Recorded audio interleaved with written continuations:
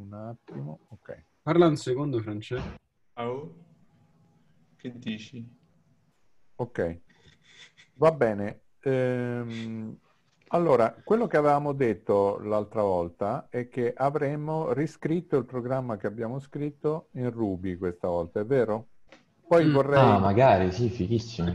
Eh, quando, quando è il, il- il mezzogiorno e mezza, vorrei passare all'altra parte della lezione, cioè a parlare mm, di quello che ave- dovevate ascoltare, quel Scheffer, dei- degli etude di Scheffer. Va bene? Ok. Benissimo. Però, Allora, professore, mi scusi, ma Ruby, ehm, avevamo detto che, cioè, io avevo capito che avremmo fatto un'altra lezione su Python e poi saremmo passati a Ruby, però se poi lo scarico subito perché non l'ho scaricato. No, va bene, per me va bene, facciamo un'altra lezione su Python e poi Eh, anche per me andrebbe meglio, neanche io l'ho scaricato, Ok, allora vi devo, allora, tanto per Più che altro avevamo detto che come compito finivamo, no? La, insomma, Certo. la cosa sulla classe di condizionatore. È vero. Eh, quindi va bene, la, la- Ruby lo comincia, riscriveremo tutto in Ruby la prossima volta. Vi dovete scaricare Ruby e dovete avere sia l'interprete Ruby che si chiama Ruby, appunto, che eh, l'interprete interattivo. Di solito quando vi scaricate il pacchetto vengono tutte e due, ma verificate che avete un affare che si chiama IRB, che è IRB, che è l'in- l'interprete Ruby online, come Python. Python, se voi scrivete Python parte l'interprete online, no? Eh, Ruby non è così, Ruby parte l'interprete e si aspetta, ehm, si aspetta un file. Eh, per avere l'interprete interattivo dovete chiamare IRB, ok? Verificate che vi funzionino tutte e due per la prossima volta. Ma la differenza qual è? C'è uno che fa rispetto all'altro. Eh, Ruby legge solo codice Ruby e non è possibile interagire, non è interattivo. Ok? Invece IRB eh, eh, è interattivo. Ok, Vabbè, quindi per la prossima volta scaricare Ruby e IRB. Beh, quando scaricate Ruby di solito vi si scarica pure IRB. Ok? E, allora, e controllare che ci sia IRB. Sì, È Ruby Lang, no? Il migliore amico dei programmatori. sì. Vabbè, lasciate perdere la, la pubblicità. Fate... Ok, ehm, allora... Eh, Day, 30 chi day è che trial. Come, come? Phil così ci fa vedere come l'ha fatto. No, mi dà 30 giorni di, di prova gratuita. Cioè, Ma chi? Eh, secondo me non è quel francese. Eh. È, è libero, è software libero. Io non, non faccio di queste cose. Eh, no- non, eh, non date la vostra carta di credito in giro. Eh, va bene, chi guida? Eh, se volete io inizio, ma Dai. io perché l'avevo fatto anche l'altra volta. Beh, come volete, se volete che faccia qualcun altro, fatelo. Vabbè, allora io inizio. Ok. Eh, dove sta? Ok, share screen. Vuoi una certa ti do il cambio. Volentieri. Ok. Sì, non vorrei andare troppo, troppo... Alle 12 e mezza voglio cambiare cosa. eh. Ok. Allora, vi ricordate tutto? Qua avevamo la classe nota che ha tutta la definizione di come è fatta una nota e- ed è in grado di stamparsi e poi c'ha- c'è una classe che è il condizionatore di note Deve scrivere lo score, no? Che serve sì, per scrivere, per, per, ehm, diciamo, eh, con, con- il condizionatore di note, se mi ricordo bene, ha tutta una, una, una serie di ehm, note costruite in un certo modo e poi è in grado di stamparle. Se vuole spiego al volo gli ultimi due, condiziona gli ampi e le freche che ho fatto, poi gli altri in realtà sono come quelli che avevamo fatto a lezione. Sì. Eh, al volissimo, condiziona gli at, avevamo detto che mh, trova, trova il minimo della, dell'attack time e poi lo sottrae a tutti. Quindi automaticamente tutti vengono shiftati e niente, il primo Allora- viene a coincidere con lo zero. Ri- Ricordiamoci com'era la cosa per, per riassumere. Il punto è che noi partiamo da dati che non hanno nulla a che vedere con le note, no? Sono dati che tu hai tirato fuori non so da dove, da- dal Nasdaq. Le azioni della Tesla, no? Mhm. Sì, Sì. sì, da un indice mh, economico, insomma, sì.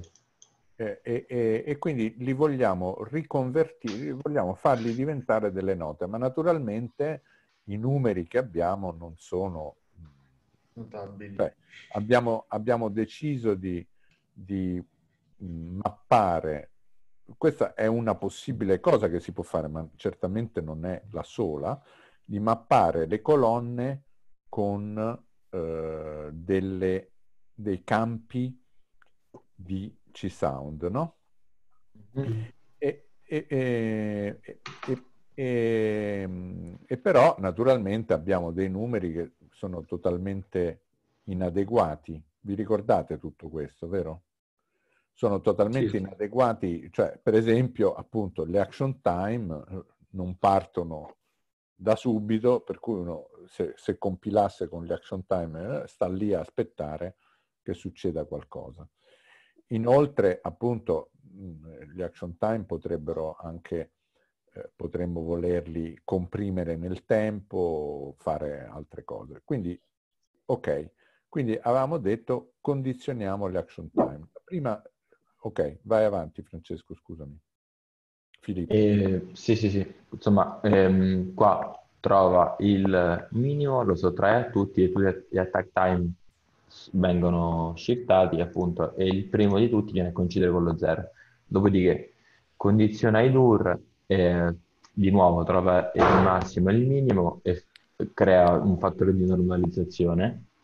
Questo fattore di normalizzazione viene moltiplicato per, per tutti i valori del- delle durate e le durate vengono a, a- a stare tra un massimo di 2 e un minimo di 0.05.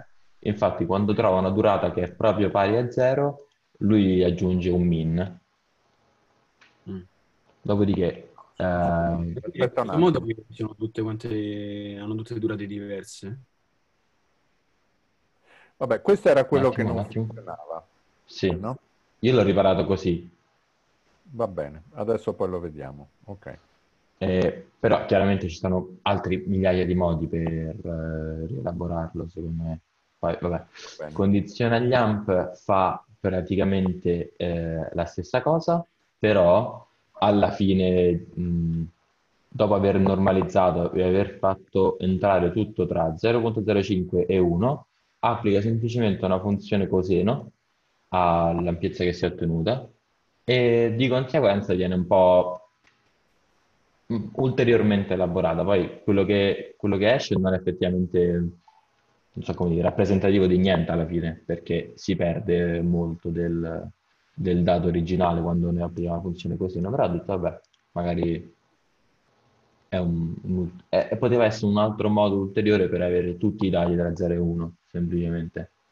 Ho pensato, siccome si sta trattando di ampiezza. Quindi, vabbè.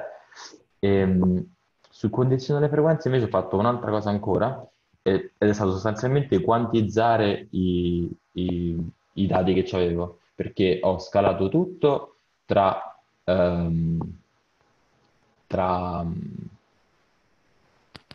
ho scalato ah sì, ho scalato tutto per far stare eh, eh, non so come dire il, il tutto tra 0 e ehm, un certo numero che mo però non mi ricordo più qual è un secondo lo rileggo eh. E mi pare che lo stai... eh, L'hai fatto diventare temperato sto sistema. Abbiamo- avevamo tutte quelle belli numeretti, li hai fatti diventare tutti note temperate. Eh sì, però non mi ricordo più come. Eh, se, non, se, se non sbaglio, Ecco, sì, li ho fatti stare, li ho fatti stare tutti tra, tra 0 e 96 e poi ho detto, va bene, ve- vedi, qual è il valore più prossimo a cui stai vicino, quindi facciamo finta che ehm, sta vicino a, so, 84.2, lui lo- gli toglie la parte decimale, lo fa diventare 84 e dopo trova la frequenza che corrisponde all'84esimo tasto del pianoforte Sì. e lo fa per tutte le note. l'hai tutto temperato. Che peccato, era, era così. E niente, invece le table sono messo semplicemente uno perché in questo caso abbiamo una table sola, ma si potrebbe fare qualcos'altro. Quindi qualsiasi numero entra, esce sempre uno. Mhm. Va bene. E quindi il manoscritto che cos'è? Mm. È una funzione che scrive quello che ho fatto su un txt. Fai vedere? È un metodo in realtà, giusto? Sì, È un, sì. è un metodo di, di- di- di questo classe condizionatore. Eccolo qua. Ok. E lo faccio vedere. Eh, scusa, che differenza c'è tra C-Sound e, e- cioè tra il metodo C-Sound e il metodo Perché ci sa un print e basta sulla, sulla console. sulla E console? bisognerebbe fare copia e incolla, è un po' brutto, quindi l'ho fatto scrivere. Eh Beh, glielo potevi far fare al metodo C-Sound, però eh, eh, vi ho detto che non è un po' brutto, è molto meglio così. Però va bene. Il punto è una cosa, è che il manoscritto glielo potremmo veramente far fare. Invece di scrivere in C-Sound, lo potremmo scrivere in Lillipond. Ah, vero, sì. Eh, perché Eh? Lillipond accetta file di testo come input. Infatti vi vorrei far capire che eh, tutto quello che si dice sui programmi eh, liberi, eccetera, in realtà eh, e del fatto che invece, che ne so, programmi occupati come Ableton, Reaper, eccetera, eccetera, sono, sono più belli e più in realtà sono meno funzionali perché una cosa del genere con quei programmi là non si può fare, mentre invece con questi si può, eh, cioè usando file di testo potete veramente andare molto molto lontano e andare molto lontano in maniera eh, libera, cioè scegliendo voi quello che, che va fatto. Comunque andiamo avanti, vediamo. vediamo Per esempio, per esempio, stavo pensando, una volta ho visto un'intervista del professor Lupone che aveva creato un programma che leggeva un input da un sensore proprio reale e prendeva questo, appunto, questo, cosa, questo sensore che era immerso in acqua, se non sbaglio, e lo tramutava proprio in, in, in dati veri e propri che poi venivano utilizzati in un programma che sintetizzava invece. Ed era fighissimo, cioè, per esempio, una cosa, cioè, non sarebbe neanche così assurdo provare a farlo con un, un programma di Python. No, infatti è quello che stiamo sostanzialmente facendo. Adesso che i dati vengano da un sensore o che vengano da un file, voi capite che è lo stesso, Sì, no? sì, sì. Purché siate in grado di leggere il file. Questo è il punto della questione. Ed è, ed è quello che stiamo imparando a fare. Quindi, beh, sono contento che stiate capendo eh, come si dice in francese, de quel bois je me chauffe, di che legno mi l'ho sto, capito. Ok. di che legno mi sto scaldando. Cioè, questa eh, comincia a essere roba seria. Comincia, eh? Adesso poi dobbiamo andare avanti. Comunque, ok, eh, facci vedere quello che succede. Volevo vedere, ecco qua, questo è quello che esce fuori.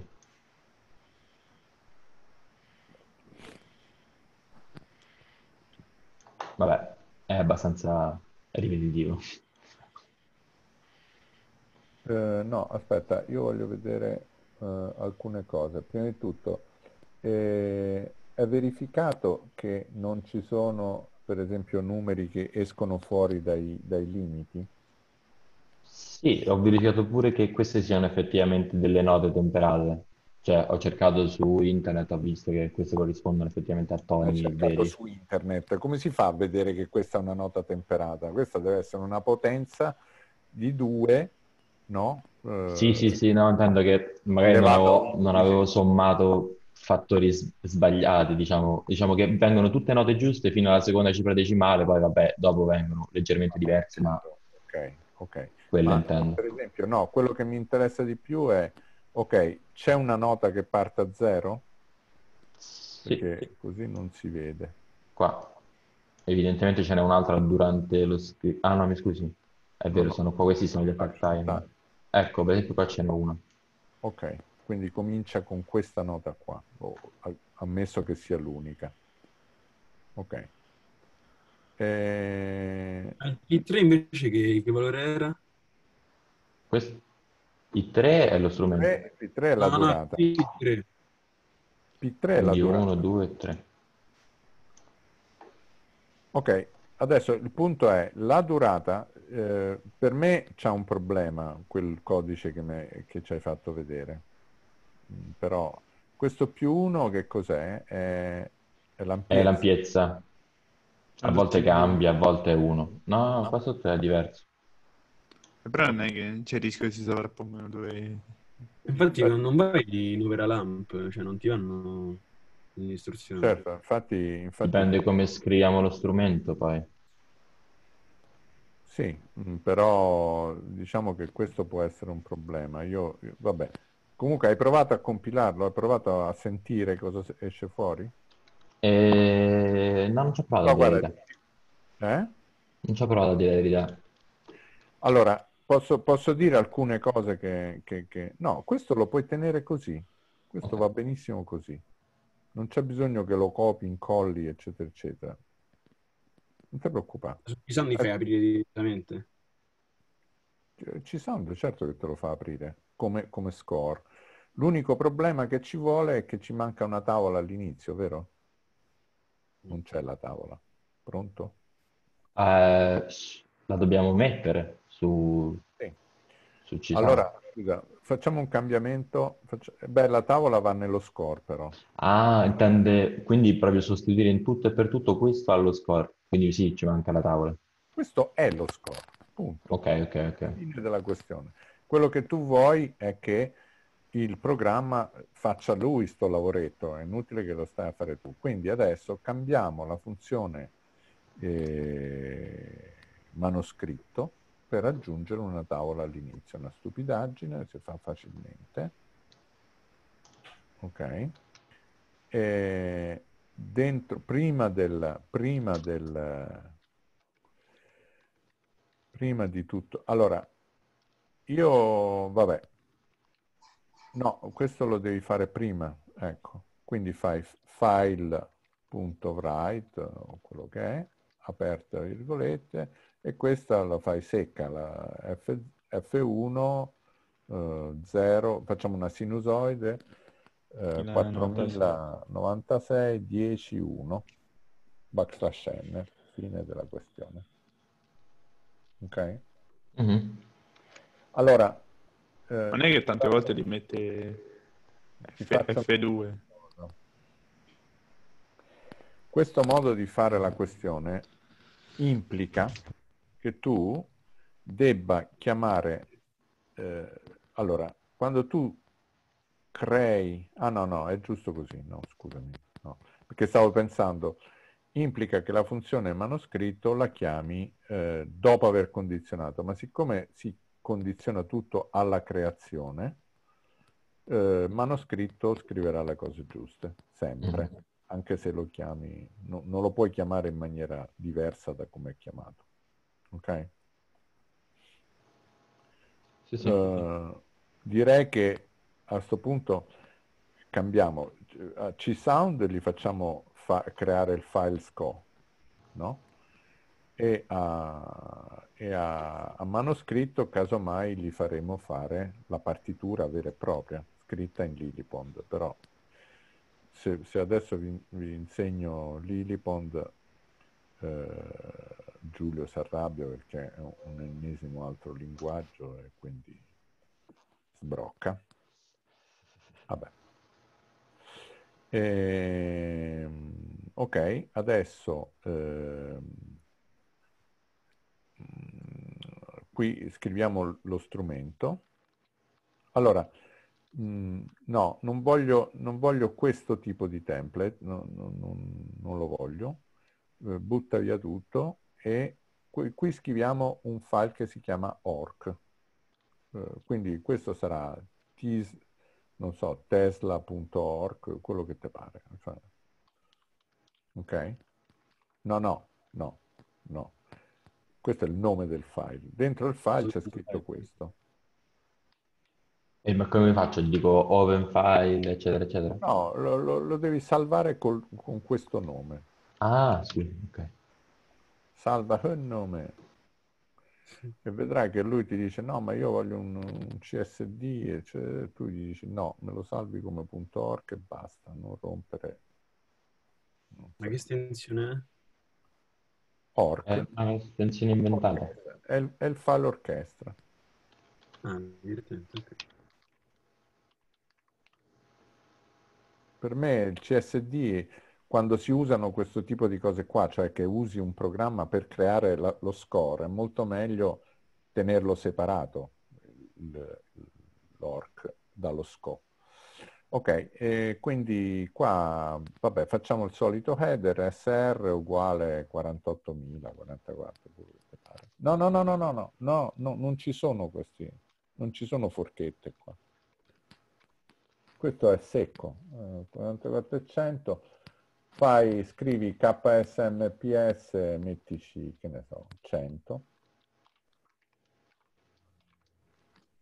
Poi canale 1, NCHNLS, NCHNLS, ecco, 1. Poi, ok, schiamo lo strumento, facciamo uno strumento semplice, instra. Quindi qua non scrivo nemmeno i 0 di BFS. Se vuoi sì, eh, però in questo caso lui ha scritto le ampiezze tra 0 e 1, quindi sì, scrivici 0 di BFS No, con lo 0 deve cominciare. 1. Eh, ok, vedrai che ci avremo un po' di problemi qua, però eh, proviamoci. Allora, eh, qua abbiamo, cosa abbiamo come campi? IAMP, IAMP è uguale P4? Sì, era P4. Ok. Che P3 è la durata e subito dove c'è sta l'AMP. Sì. IAMP e P4, beh, fino, i primi tre sono sempre fissi, non si possono. Eh. P2 uguale P3, e poi ifrec uguale P5, no?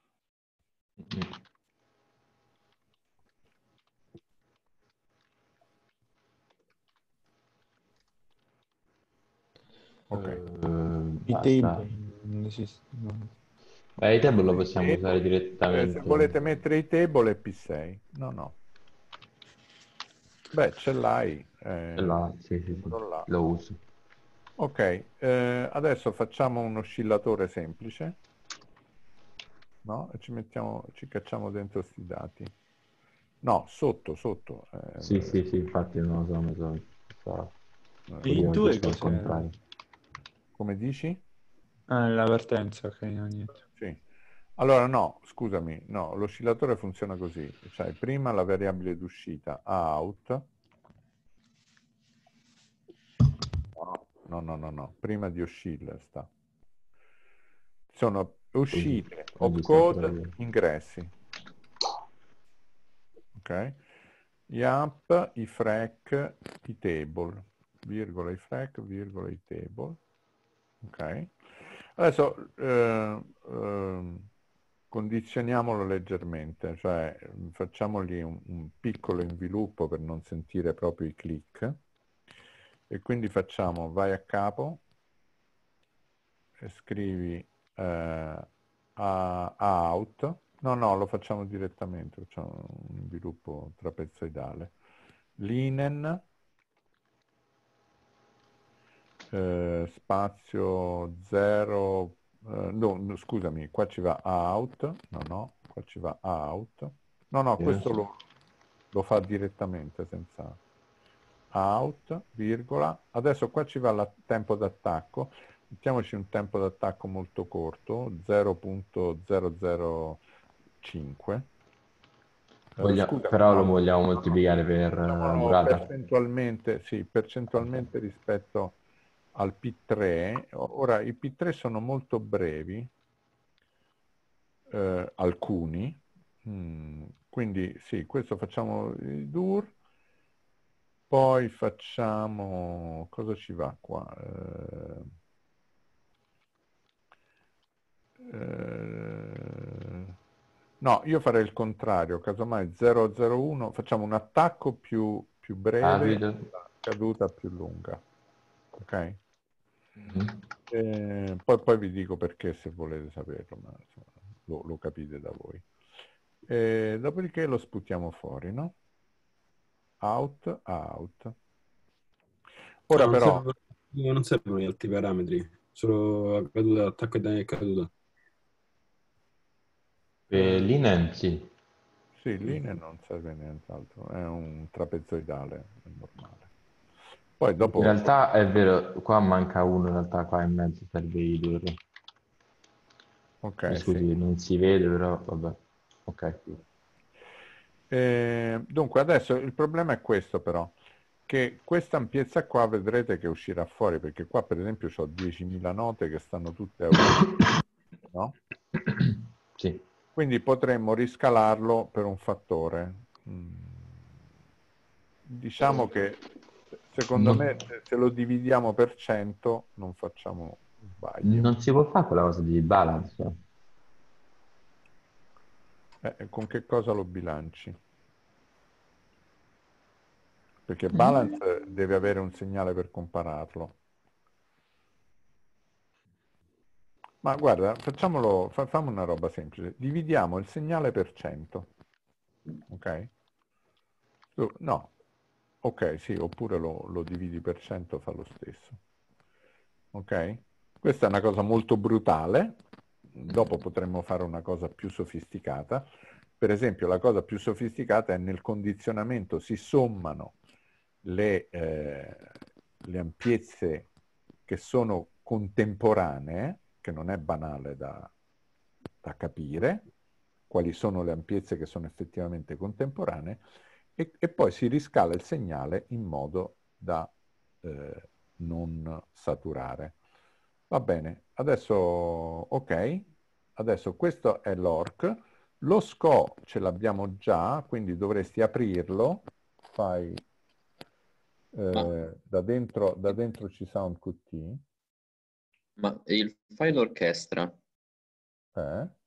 Non si potrebbe direttamente pure questo scrivere su, su C-Sound, cioè se su, Python. Eh, su, su Python.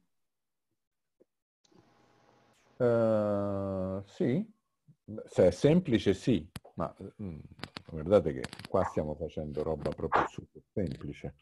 Se il file orchestra diventa complicato, vi conviene tenerlo separato, no? Anche perché li editate in momenti e in modi diversi. Capite? Cioè, questo, la stessa partitura può suonare completamente diversa a seconda di che orchestra gli date. Adesso poi, in questo caso particolare, abbiamo scelto di usare solo uno strumento, ma per esempio noi potremmo decidere di cambiare strumento in base a, alla tipologia di nota per esempio se vediamo che una nota è più lunga di un certo tipo, allora si usa un certo tipo di strumento. Capito? Beh, dal punto di vista dell'algoritmo, qua ci possiamo complicare la vita quanto ci pare. Il problema è sempre tenere d'occhio qual è il risultato musicale che vogliamo ottenere. In questo caso qua ci, ci basta solo che suoni, ma eh, in futuro non sarà così, no? Spero. Cioè, spero che vogliamo fare qualcosa di più. Se vogliamo okay. diventare musicisti affermati come, come gli altri. Affamati. Fermati. Affermati, non so cosa significa, va bene. Eh, puoi aprire sempre dentro C-Sound la partitura? Sì. Allora, vai su File. Eh, ma ah, Dai, gliela, gliela puoi fare, fai quello che ti dico. Eh, dove sta la partitura? La partitura costruita. Ah, qua. Ora la porto, la, la trasporto perché... Ah no, ma un attimo. La Sta qua dentro, però eh, non è in questa versione. Ecco.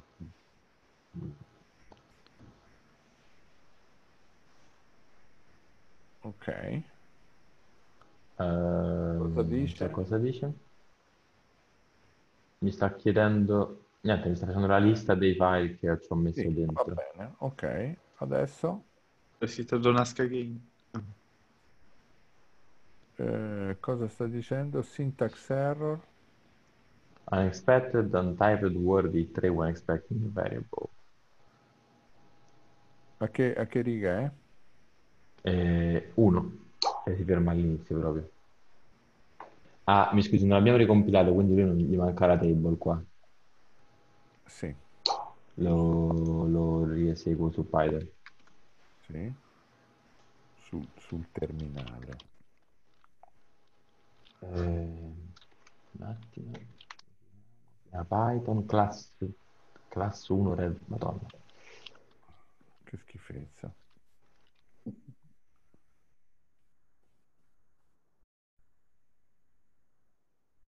Poi lo rinomino. È troppo tardi. Ok. Dovrebbe averlo riscritto. Eh, a lui però automaticamente devi di riaprirlo. Sì, oppure di rileggerlo. Come si fa di, di rileggerlo? Non lo so. Non uso questo tipo di Magia oscura. Ok, interfaccia. Qua ci sta. Ok, allora a lui, a lui questa cosa secondo me non piace perché questo affare, questo è un imbecille di... Scusa, ti dispiace farlo da terminale? No, Eh, perché da terminale dovrebbe... cioè, stanno lì tutti i tuoi file? s- tutta tutti in questa cartella, sì. Dir. Ok, quindi noi dobbiamo usare... eh, dove sta l'orc? Ah, Tesla.org. L'orc. C, C-Sound eh, spazio meno eh, W maiuscola O eh, spazio tesla.wav questa è l'uscita, no? L'output. Spazio. Eh, tesla.org manoscritto.txt Ma no, come orc mai, senza H, orc senza H. Io lo tolgo. punto txt ok va comunque bene il fatto che ci sia manoscritto è in TXT. aspetta un attimo che questo Eh,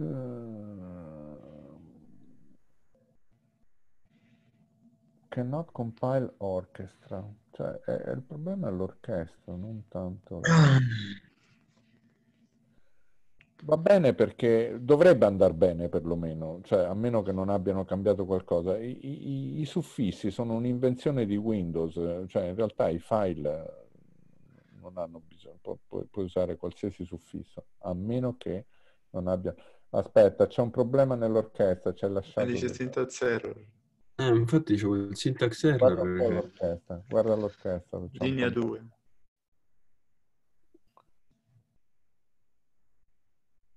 Alla riga 2? Scusa, ti dispiace risalvarlo un attimo perché... mm,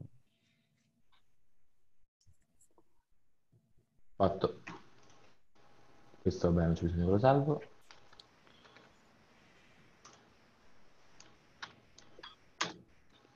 Ah, adesso è andato. No, si vede che era- si era salvato quando avevi messo le forchette. Ok, le ampiezze possiamo dividere per 10 invece che per 100. Vedete? Qua vengono tutti suoni molto bassi.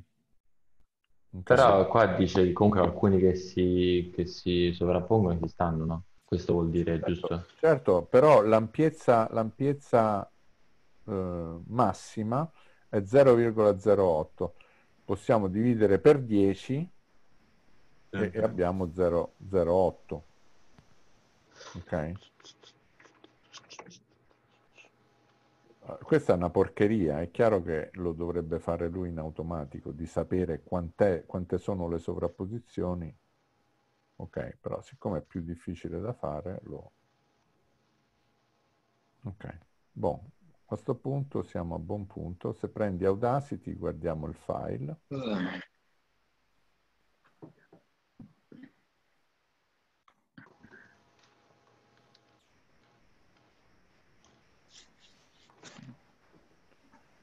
Oh, adesso mm, cioè, riesci a farcelo ascoltare, cioè a mandarcelo nel, nel link? Eh, sì, ora, pare- ora vedo se... se- fare share computer sound prima. Però l'ho fatto, penso, quando, quando sono entrato. Ora provo a farlo sentire. Ok, Eh, altoparlanti, se io metto questo in teoria... dovrebbe- Chill e Cariddi. Si sente? No. No. no, no, no. io lo sento. Ma l'hai settato zoom su Same System? Eh, io penso di sì. Share computer sound, l'ho ricliccato nel caso in cui si fosse dimenticato.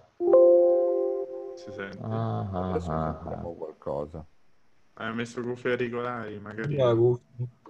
Prova Eh, a ma io con, questo, cuffie. io con questo sto connesso perché se no non vi potrei sentire. Cioè, se non vi potrei parlare, insomma, non c'ho il microfono, capite? E prova a farlo uscire da un'altra parte. se no. Che magari Eh. quello è tipo un microfono, gli hai detto fallo uscire.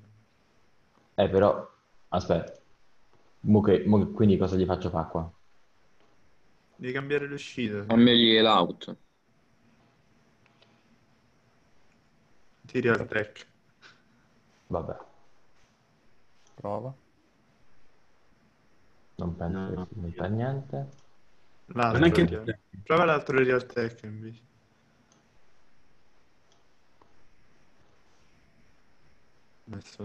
Sto pensando che magari si potrebbe riavviare Audacity Tu lo senti? perché... No, io neanche lo sento. Si potrebbe riavviare Audacity perché magari con... No, lui cambiando, cambiando l'output dovrebbe, dovrebbe sentirlo. Dovrebbe sentirsi il volo. Cioè lo- Mm, Perché il messaggio di errore l'abbiamo sentito. Eh, ah, ok, ok, allora aspetta, mo provo eh, un attimo. Qualcosa si è sentito? no, noi non sentiamo Zero. niente. Però aspetta, eh. Tu, tu senti? No, neanche io lo sento. Ecco, però questo qua lo sentite? Sì, Questo l'audio del computer, insomma. Quindi Sì. il sistema. Perfetto. Allora, boh, non saprei che dire.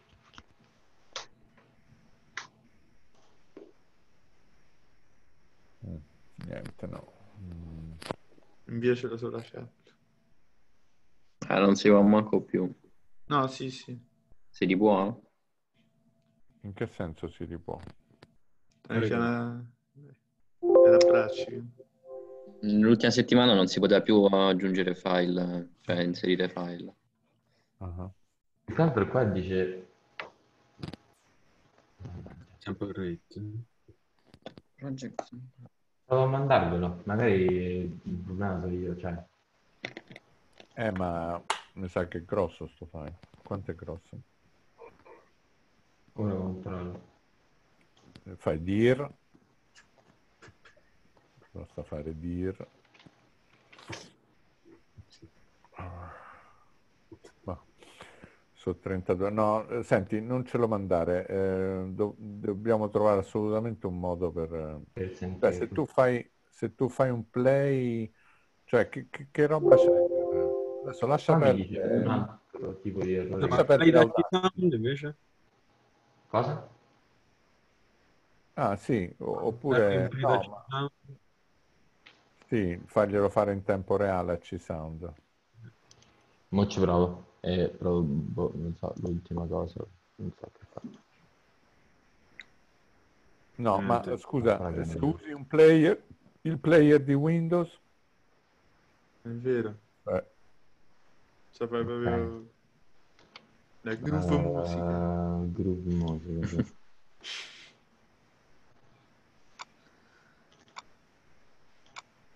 sì. Dove è? Qua dentro. I suoni delle cartelle li senti?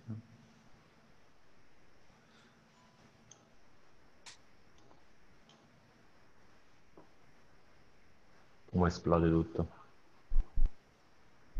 Io lo sento adesso. qualcosa. Sì. Sì, sì, lo sento anch'io. Però sono tutte frequenze tipo dura tutte note che durano pochissimo. Mi sento disturbatissimo. Ma non è che è disturbatissimo, è questo il È file. proprio il È così. Se Ah. guardate la partitura, apri, apri la partitura mentre sta andando. Qui stiamo a 28 secondi. Basta 6 minuti di file. Vai, vai avanti, vai avanti. Siamo a 28 secondi qua. ben- Ah, che non so. Però questi sono tutte messi no- a caso, quindi Ah, è vero. Posso aprire, posso aprire Audacity così le vediamo, ma Sì, ok. Ma è fermo adesso? Eh, no. No, no, sta la andando. Sono queste parti qua di silenzio. Ok. Però questo è interessante, per esempio. eh, eh, eh, interessante come, come cosa, vedi? Parte da frequenze molto basse. E ci rimane. Beh, un pochino sta salendo. Sì, sta succedendo qualcosa. Un minuto e 23, quindi starà circa qua.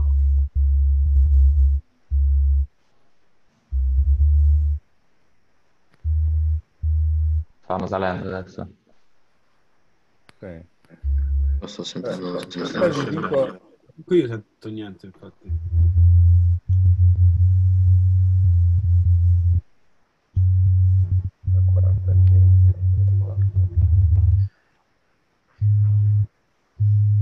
Ah, mo qualche... qualche stupata. Eh, io. Questo pezzo sarà candidato a MTV Music Award probabilmente. Facciamo l'official video per l'inizio.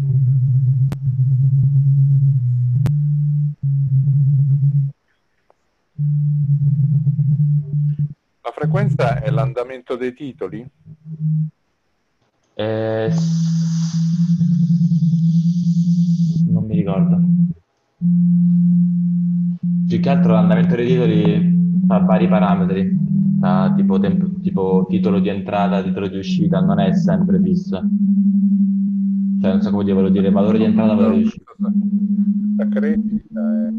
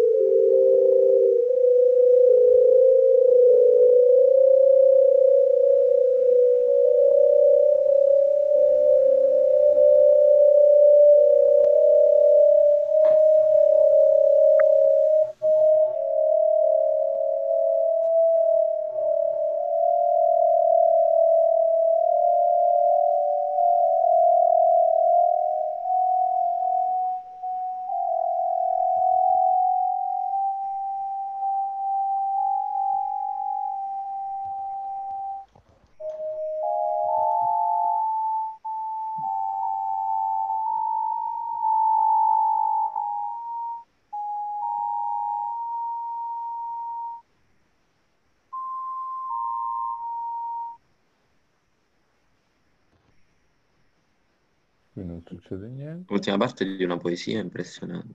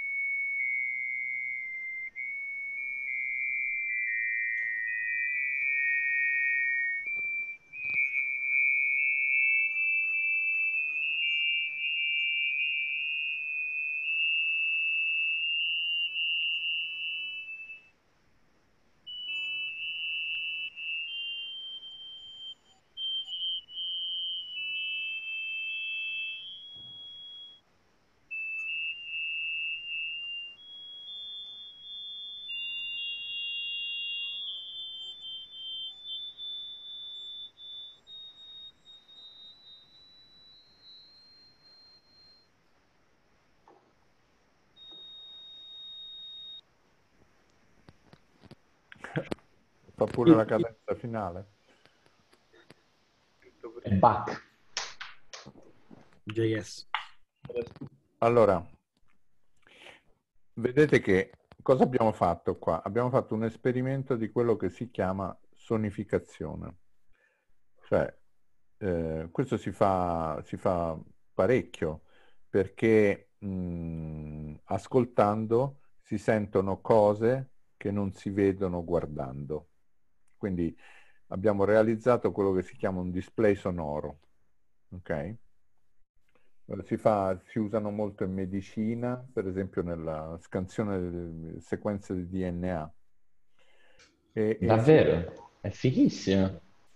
Sì, si usano, si usano in, uh, in economia. Questa operazione si fa, si fa spesso. C'è addirittura c'è un pezzo di un compositore italiano Mm, che si chiama eh, Fabio Cifariello Ciardi, che eh, appunto si basa sugli indici del Nasdaq eh, e quando si esegue eh, lui legge gli indici in tempo reale, cioè l'esecuzione è la lettura con... Il pezzo è ogni volta diverso?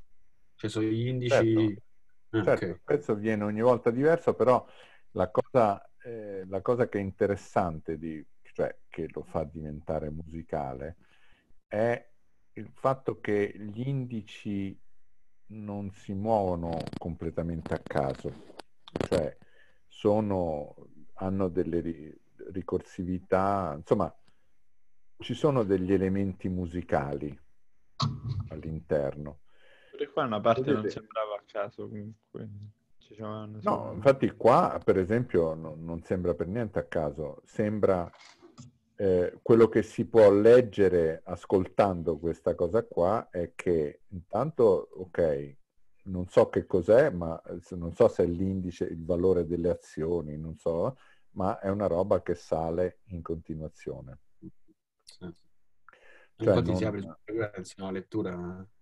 Non Però... sale basta, se sale riprende un po' prima e sì, cioè allora si sente che il trend generale è di salita, poi è vero, ci sono delle volte in cui tac, si sente una piccola flessione, eh, eccetera, eccetera.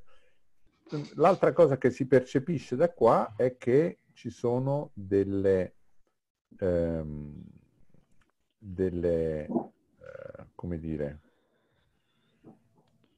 delle dei, dei, dei, punti in cui il movimento è più intenso, c'è cioè più roba, no? e dei punti meno. Il che mi fa pensare che, per esempio, per come stiamo leggendo noi i dati, questa cosa non va bene. Cioè, per esempio, noi dovremmo eh, leggere anche la data ok? Eh sì, sarebbe... Porre l'action time in base alla data, ok? E non in base al... al perché non so che cos'è il, il dato... Io penso che sia tipo, eh, tipo valore di apertura, valore massimo, valore di chiusura, close... Ma è open int, infatti che cos'è per esempio? Te lo giuro non lo so, però sono tutti zero, vedi? Alla fine sono tutti 0, 0, 0, 0, 0, 0. Quello chiedevo. Se volete posso... Io mi ricordo il sito da dove li ho presi. Non l'abbiamo, non l'abbiamo usato quel valore là. No, se volete io posso eh, riandare sul sito dove li ho presi e vedere esattamente cosa significano questi valori. Perché... Eh, per farli in ordine. Aspettate un attimo. Aspettate un attimo.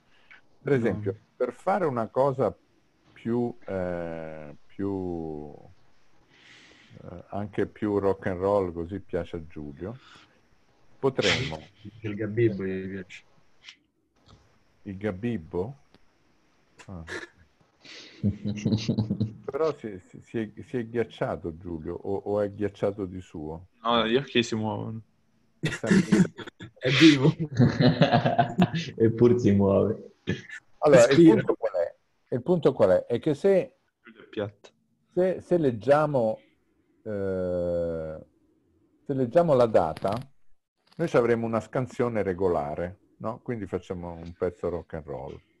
Regolare salvo giorni in cui saltano, per esempio dal, dal 9 al 12 luglio non ci sono, eh, non ci sono le. Poi potremmo fare un'altra cosa, potremmo prendere il valore, eh, il valore di apertura, il valore massimo, il valore minimo e il valore di chiusura e usarli per fare un inviluppo frequenziale, cioè questa cosa sale, cioè questa cosa parte da un certo punto, no? Facciamo un lean seg che percorre tutta questa cosa e a questo punto dobbiamo decidere quanto vale 24 ore, perché eh, no? In maniera ah, da dargli... Possiamo anche assegnare dei parametri de- dell'analisi dei dati?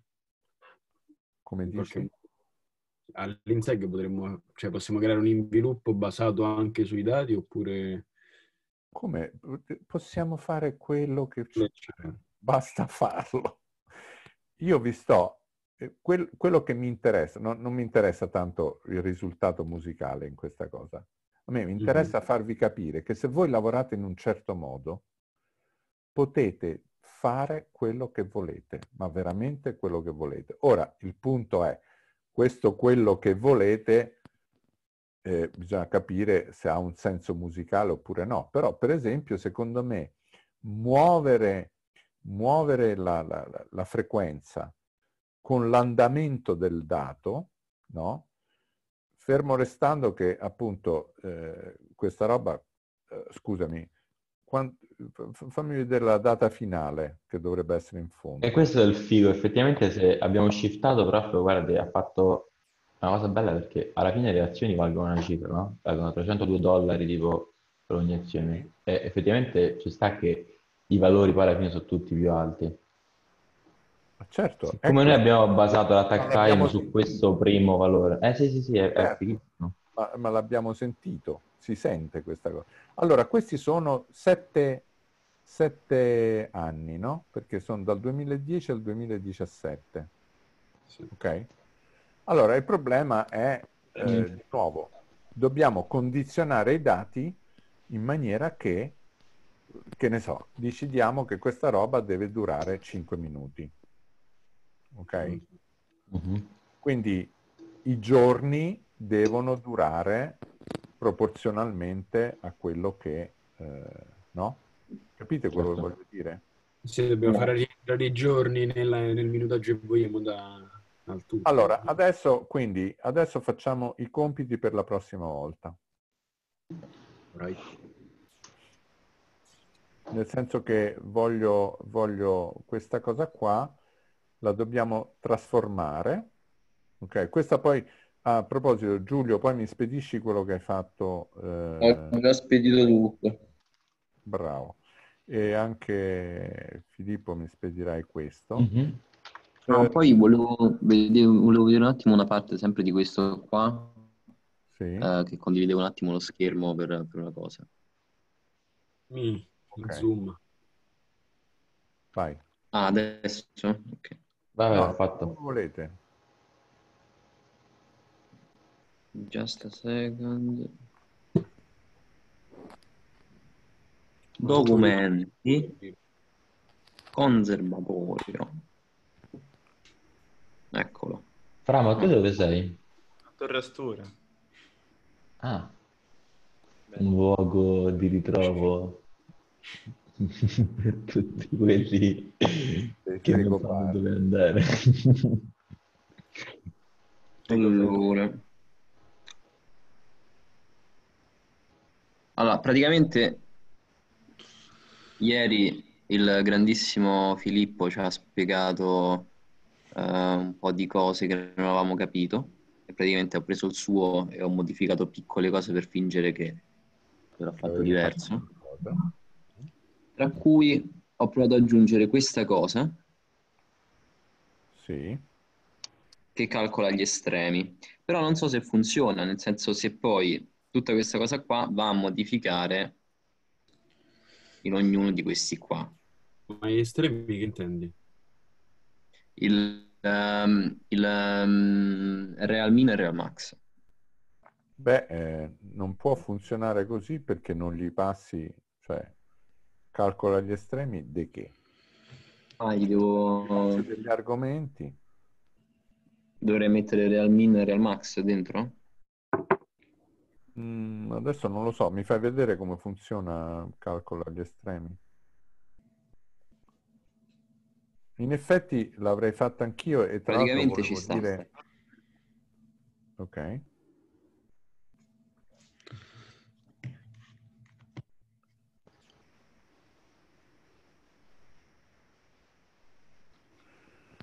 C'era quello che avevamo fatto, ma questo non funziona eh, adesso non lo so. Mm, sì, poi questo lo devi, li devi ritornare Real Min e Real Max. Una volta calcolati, no, in realtà eh, tu li devi passare. Allora, calcola gli estremi non ha bisogno di... Eh, no, cioè, eh, tanto per cominciare, tu li devi passare le cose di cui tu hai bisogno di calcolare eh, eh, il minimo e il massimo, perché se no lui da dove parte? Ok. Cioè lui non sa se devi, se, cioè, se devi calcolare allora, il minimo e il massimo dei DUR o degli AT. Le note eh, sarà una cosa, se calcoli gli AT, gli action, cioè la frequenza è una cosa, l'action time è un'altra, no? Eh, infatti non sapevo come mettere questo perché cioè non potevo mettere n punto perché capito ognuno di questi era appunto diverso e questa cosa non riuscivo a no no no eh, ok. Eh, beh questo è un caso di appunto qua servirebbero i puntatori e non mi ricordo in, in, in Python come si fa a farli cioè eh, servirebbe di dire prendi l'indirizzo eh, dell'action time o prendi l'indirizzo cioè prendi il metodo dell'action time. Questo per esempio in Ruby è una stupidaggine da fare, non mi ricordo in Python come si fa. E... Però capisci... In inglese sarebbero... Cioè nel caso... No, è il problema è che qua lui dovrebbe chiamare dei metodi diversi per ciascuna... Eh, allora, questa funzione qua bisognerebbe scriverla eh, con argomento qual è il metodo che lui deve chiamare per tutte le note. Capito? Allora, fa fatemi vedere un attimo se riesco a trovarlo al volo. Uh, method passing in Python. Cerco questo.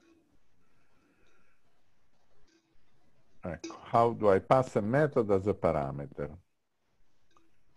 Eh, così. Allora, la risposta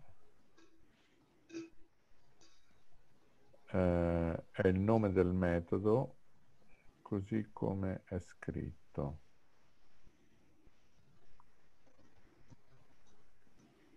Dunque,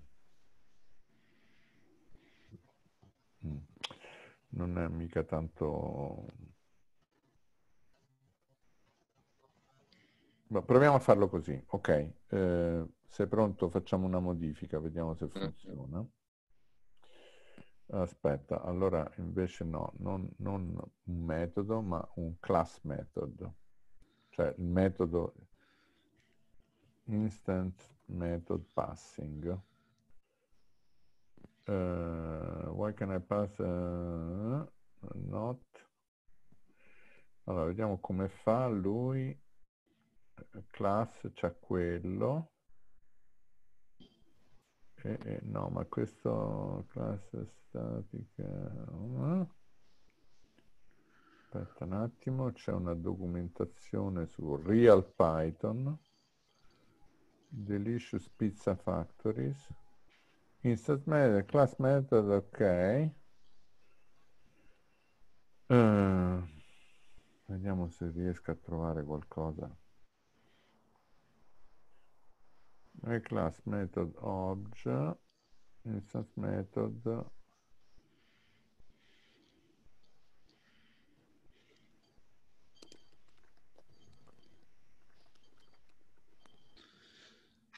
Ok, proviamo a, fare, proviamo a fare, una cosa, scusami, facciamo, prendi, prendi, un, prendi un, una console, perché lo, facciamo prima la prova sulla console.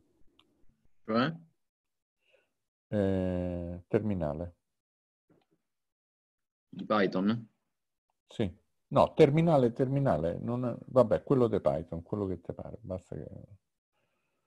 Questo io andrei un attimo al bagno se tanto Tanto lo sharing lo sta facendo Giulio. Sì. Sei autorizzato, però è una roba veloce.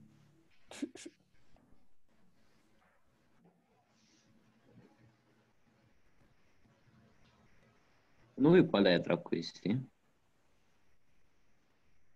Mm, non ho idea. Python, questo è il terzo, prova. Questo? Sì.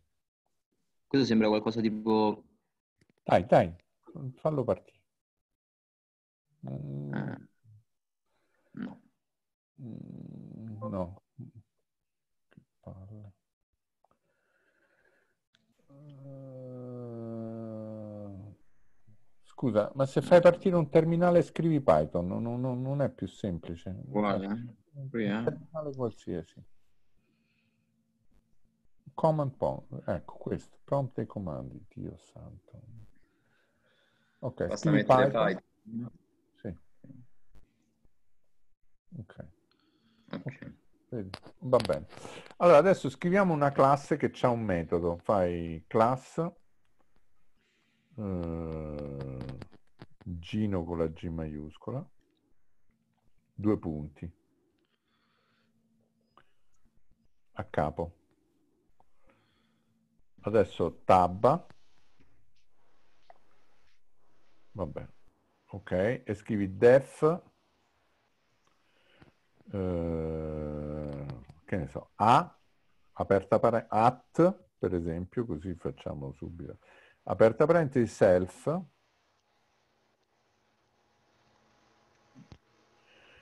Eh, basta. Chiusa parentesi. Due punti e vai a capo, due tab e gli facciamo scrivere print eh, aperte virgolette ciao.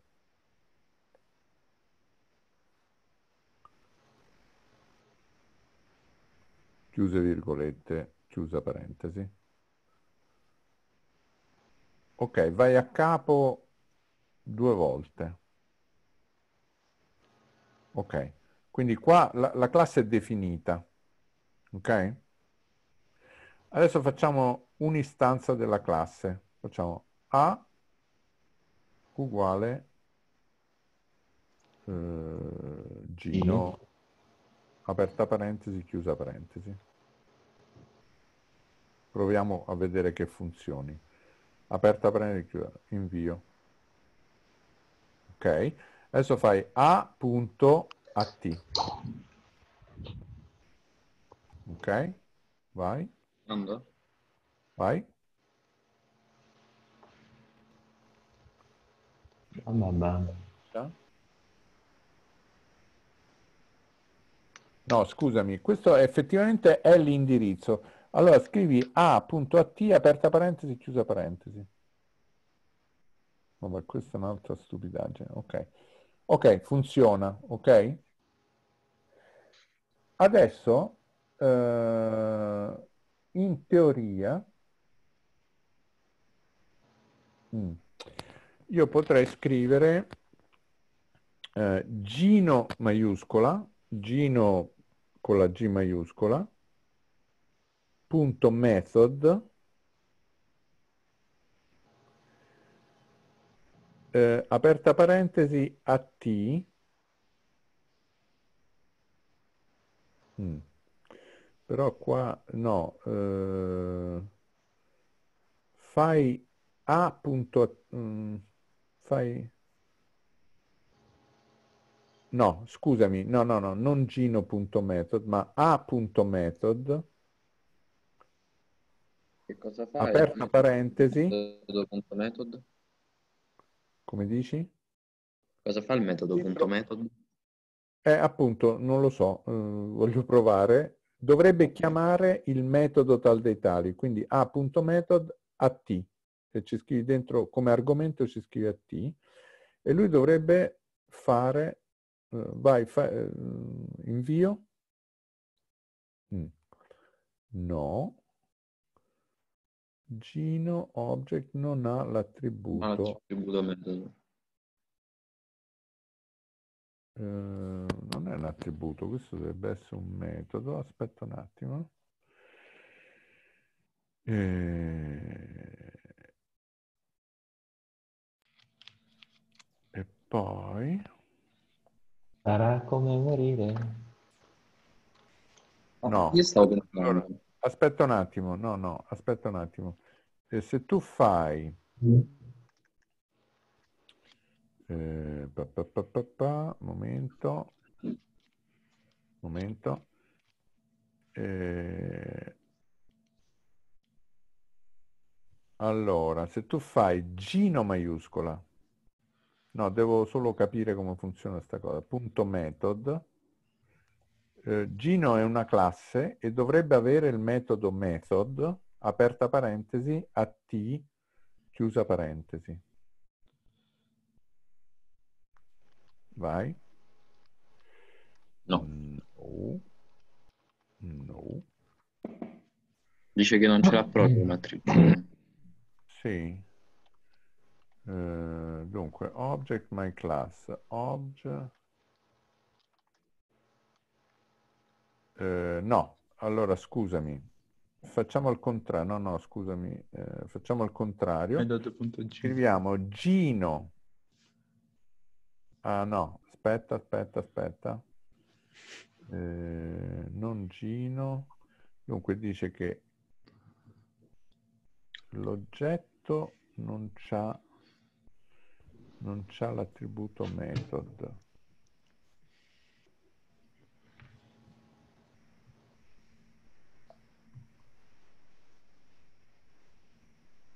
Scusami, scrivi gino.at senza niente.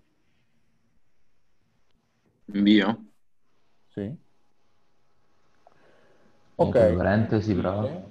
Lui ti dice, se io non metto la parentesi, lui ti dice guarda che at è una funzione. Ok? Quindi adesso tutto il problema sta in capire come chiamarla. Capite quello che voglio dire? Sostanzialmente Gino.at mi ha ritornato il, eh, una cosa che non abbiamo visto prima, che sono i puntatori a funzione, li vedremo la prossima volta. Mi ha ritornato il puntatore a funzione. Ah, è vero, perché questo è un, è un bastardo numero de- esadecimale. Eh, Eh, sono indirizzi. L'odio che ha Giulio per gli esadecimali è indescrivibile. Adesso, no, il problema è di capire come chiamare eh, questo metodo per, eh, per no, come chiamarlo per A, no? E proviamo a fare A punto, lo sto facendo a caso, eh, A punto call, C-A-L-L, aperta parentesi, Gino, eh, Gino maiuscola, punto AT, cioè gli dico chiama questo metodo qua, vediamo se funziona. Mm. Lui non ha questo attributo, per cui, scusami, ma mm, e se io dico mm, gino.methods No, eh. Cioè per sapere quali sono i metodi che ha. No, no. Gino. Vedi che tutta sta roba in, in Ruby l'avevamo già fatta. Metodo o method? Methods. Invio. Niente. Quindi, quindi... Ma io stavo pensando una cosa. Mm-hmm. Cioè se noi mettessimo, facessimo 1, 2, 3, 4. No, qui per esempio, vabbè, in quelli che servono, tipo che ne so, io ad at l'ho tolto questa cosa del minimo e del massimo. E vabbè, ma non, non, perché sono riuscito a trovare un altro modo, però ho detto, vabbè, proviamo a farlo in modo diverso. Però insomma non, non si tiene la normalizzazione, cioè nel senso non, non c'è sempre questo rapporto dei numeri che, che, abbiamo scelto però di ritrovarli su un'altra scala. Comunque, se volessimo fare def, che ne so, uh, dur e... Um, cioè fare la, la, classe degli estremi e metterci dentro eh, tutta la definizione dei, dei dur con, che so, dur e frec, eh, penso basta per esempio, perché qua è amp, e poi metterci, mm, cioè fare in modo di chiamare la funzione degli estremi in relazione a questo qua. Ah, ma questo è quello che stiamo cercando di fare per l'appunto. Cioè il calcolo, il calcolo del range sostanzialmente è una cosa che si potrebbe generalizzare, ma si generalizza a patto che noi siamo in grado di passargli eh, la, la, di passargli informazioni necessarie. Eh? Le informazioni necessarie, insomma. Vabbè, eh, ragazzi, questa me la, devo, me la devo... Non mi ricordo come si fa in, eh, in, uh, in Python, è inutile che stiamo a perdere tempo. Eh, diciamo che la, cosa è che non, non riuscendola a fare, la cosa che si potrebbe fare è ripetere sempre il calcolo degli estremi, che però, come di, giustamente Giulio dice, ma è una stupidaggine, il calcolo degli estremi è sempre uguale, è solo che cambiano delle variabili. Ok? Quindi eh, il problema è io gli devo passare dei dati e lui mi deve ritornare dei dati. Python è diverso dal C, Python mi può ritornare anche un array, un array di dati, per cui mi, pass, mi, mi, mi dice qual è, qual è il, quali sono il, il, vero minimo, il vero massimo e poi, eh, e poi mi ritorna il fattore di normalizzazione anche volendo.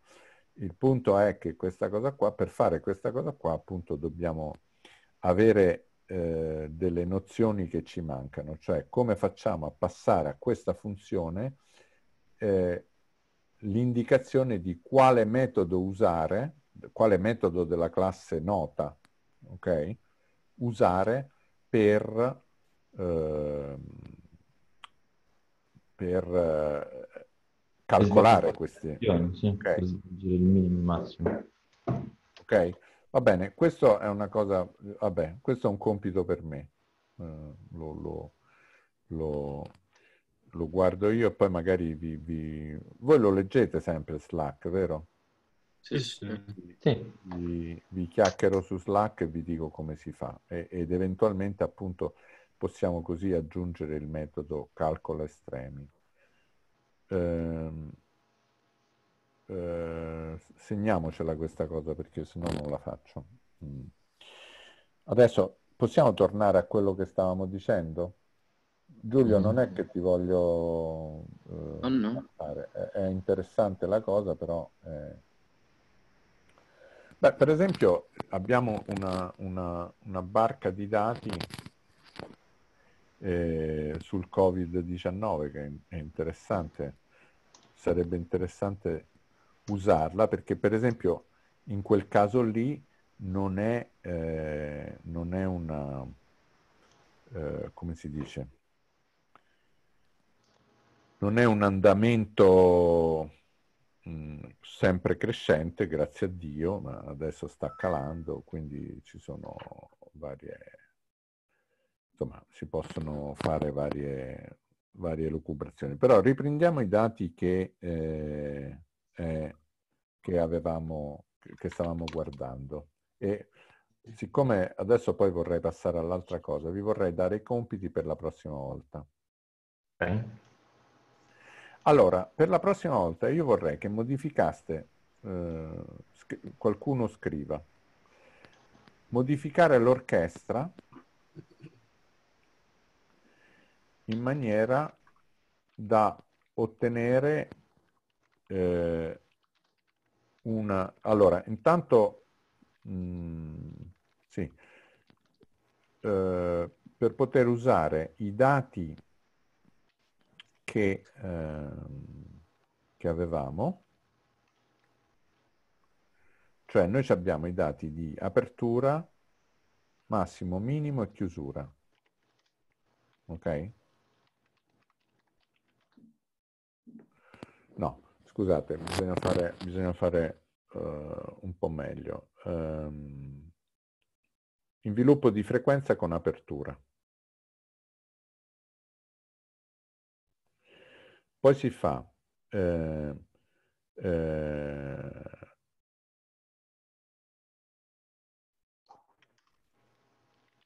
allora, mh, mm, vi chiederei di non... Eh, bellissimo l'esercizio di quantizzazione quantizzazione, a parte che bisogna vedere se effettivamente funziona così, però vi chiederei di non quantizzare le frequenze.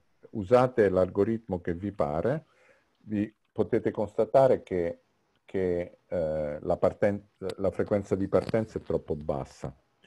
Dovete comprimere un po' queste frequenze, cioè partire da una frequenza un po' più alta e, e, e magari no, poi l'altra cosa da fare è convertire la data in un action time e naturalmente eh, ok, eh, calcolare la durata eh, in base al fatto che abbiamo circa, non so, sette anni di dati per un minutaggio totale di direi 3, minuti 3. Non c'è bisogno di andare, no? Così abbiamo un, un, un tempo... Eh, sette anni vanno riconvertiti in tre minuti. Quindi il calcolo, però bisogna vedere un attimo, perché se i giorni vengono troppo corti, eh, bisogna vedere, ok? Questo dipende dal... Possiamo eh? fare meno anni? No, no, uh, no, no, prendiamo i dati che abbiamo, cioè i dati che abbiamo sono interessanti, quindi usiamoli. Eh, no, eh, bisogna, bisogna capire che cosa fare con la durata di un giorno, no? Perché quello, questo dipende da quanti giorni abbiamo, ok?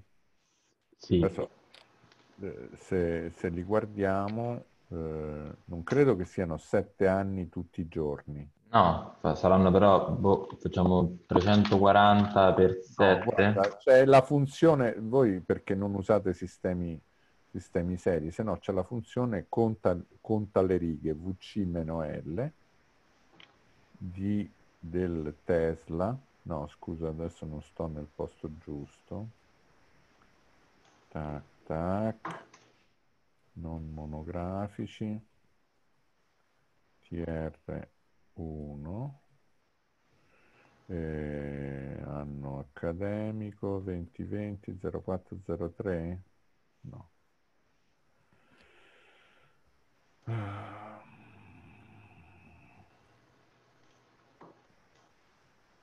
dove sto? come 02 come 02 2020 0403 vero? ok adesso vc-l tesla.txt sono 1859 giorni, mentre invece 7 anni, diciamo per 365 la brutto muso. Veniva... No, sono 2555. Per cui eh, ce ne abbiamo, diciamo, un po' meno, ma sono comunque tanti, no? Quindi se dividiamo eh, quanti secondi sono? 3 minuti 180 secondi diviso 1800 scale 2 eh, così tanto per sapere 180 secondi 1859 eh, ogni nota avviene 90 millisecondi eh, è parecchio è parecchio spedita la faccenda 90 millisecondi, stiamo parlando, se fossero 125 millisecondi, sarebbe una semicroma a 120 di metronomo. No? È così, no? Queste sono ancora più corte, quasi la metà, quindi è praticamente un 32esimo. Parla tutto il tempo con il microfono spento. Io? Ma questo... No, io. Questo solo se, se vogliamo fare in modo che siano una dopo l'altra. Eh, eh, beh, eh, sì, ok. Se non vogliamo che siano una dopo l'altra, bisognerà fare qualche altra cosa. Io, se, ma possiamo pure intervenire sul eh, file txt, tipo che ne so, cambiando i trattini con virgole. No, mm, quello è proibito. Il file txt non si tocca. Però possiamo farlo di qualcosa che converte i trattini in virgole. Sì, Non c'è bisogno di farlo. Scusa, eh, posso farvi vedere come si fa? Eh, abbiate pazienza. Fai S uguale. No, stai dentro Python. No, no, fallo... Perché a te ti serve per, per convertire la data? Eh sì, di... Ok, S uguale. Uh, no, S mettici un, una data. No, no, ferma, fermo, fermo, fermo. Mettici una data, aperte virgolette, 2010, eh no, però è una stringa questa, eh. deve essere aperte virgolette. No, poi... Perché sennò fa l'operazione automatica. Eh certo. Ok, adesso, eh, quindi S è una stringa, no? Mm-hmm. Adesso fai S.split. Faccio una, un array, che so, tipo anno, giorno. No, no, no, no. no scrivi, scrivi s.split, aperta parentesi, aperte virgolette e, e, e, e trattino. Ok, invio. Ecco, mm. fatto. Non è che ce l'ho tanto. Questo che ci eh. dobbiamo fare? Beh, questo vi dà eh, l'anno, mese, giorno. 40, no, no, sì, 43 sì, giorno. In cosa dobbiamo utilizzarlo? costruire la Allora, noi vogliamo, vogliamo usare anche il primo campo, nel senso che adesso quello che vorrei fare è invece di fare degli accordi, come avete sentito, facciamo una sorta di monodia. Ok? Perché i giorni sono tutti, non è che ci sono una sovrapposizione di giorni, capite? Mm-hmm. Non ci sarà una sovrapposizione di action time. Però non è detto che i giorni, eh, che i giorni, cioè non è detto che le 24 ore durino quanto abbiamo detto che durano, che, cioè, che dovrebbero durare 0,9, 0, cioè 90 millisecondi. Potete farli durare un po' di più e questo significa che i giorni si sovrapporranno tra di loro. Ok? Mm. Cioè, questo però, come diciamo, poi potete fare, è chiaro che potete fare tutto quello che vi pare, però vi proibisco di cambiare il file. Questa è una proibizione totalmente arbitraria dal che, data dal fatto che sono un dittatore e faccio proibizioni arbitrarie. Ma eh, ha un senso, non è totalmente arbitraria. È che cambiare i dati è troppo facile, lo fanno tutti i politici, lo fanno tutti, tutti quelli che danno dati, li cambiano. E voi invece voglio che riportate la situazione effettivamente com'è e usando i dati e naturalmente condizionandoli. Quello è un cambiamento di dati, ma lo fate inline e algoritmicamente. Quindi tutti i dati vengono cambiati nello stesso modo. Ok? Mm-hmm. Torna un attimo alla, ai compiti che stavamo dicendo perché non è finita qua. Ah, ma quindi questo sviluppo di frequenza che vuol dire? Eh, vuol dire che la frequenza durante la nota, la frequenza cambia. Ci sarà, de- ci sarà un glissandino, ci sarà... Ok? E dovete decidere come farlo, tra l'altro. Cioè, che cosa fate? Perché questo è un dato che non abbiamo. Per esempio, non abbiamo... Eh, cioè, abbiamo il dato di apertura, no?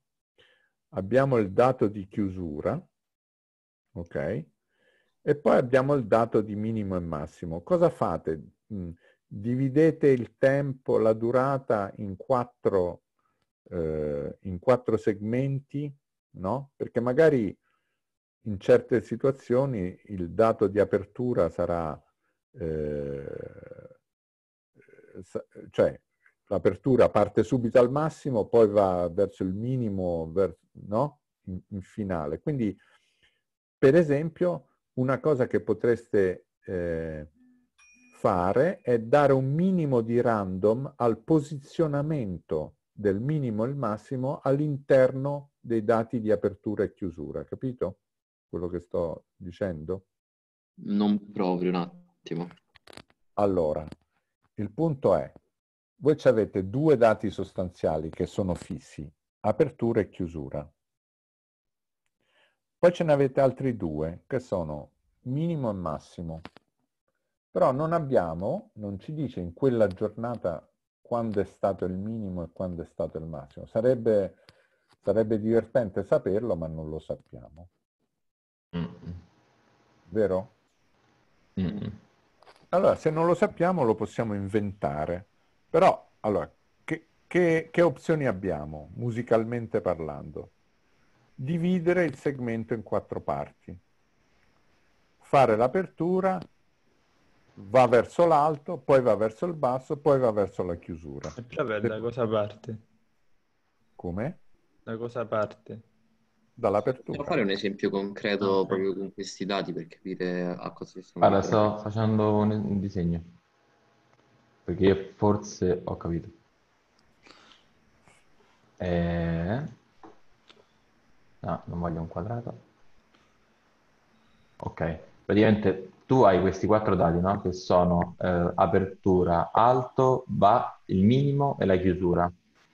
Ok, tu puoi, metti caso che mm, sono, usiamo questi dati qua, questi dati qua sarebbero un po' inutili perché è tutto lo stesso punto. Invece, no. volendo iniziare da lui, no? Che è apertura 19, allora parti da sopra, poi c'è il minimo 0, quindi puoi andare da 19 ah. a 0 eh, e questo poi è interessante perché a 0... 0 a 17 e poi a 17 a 23.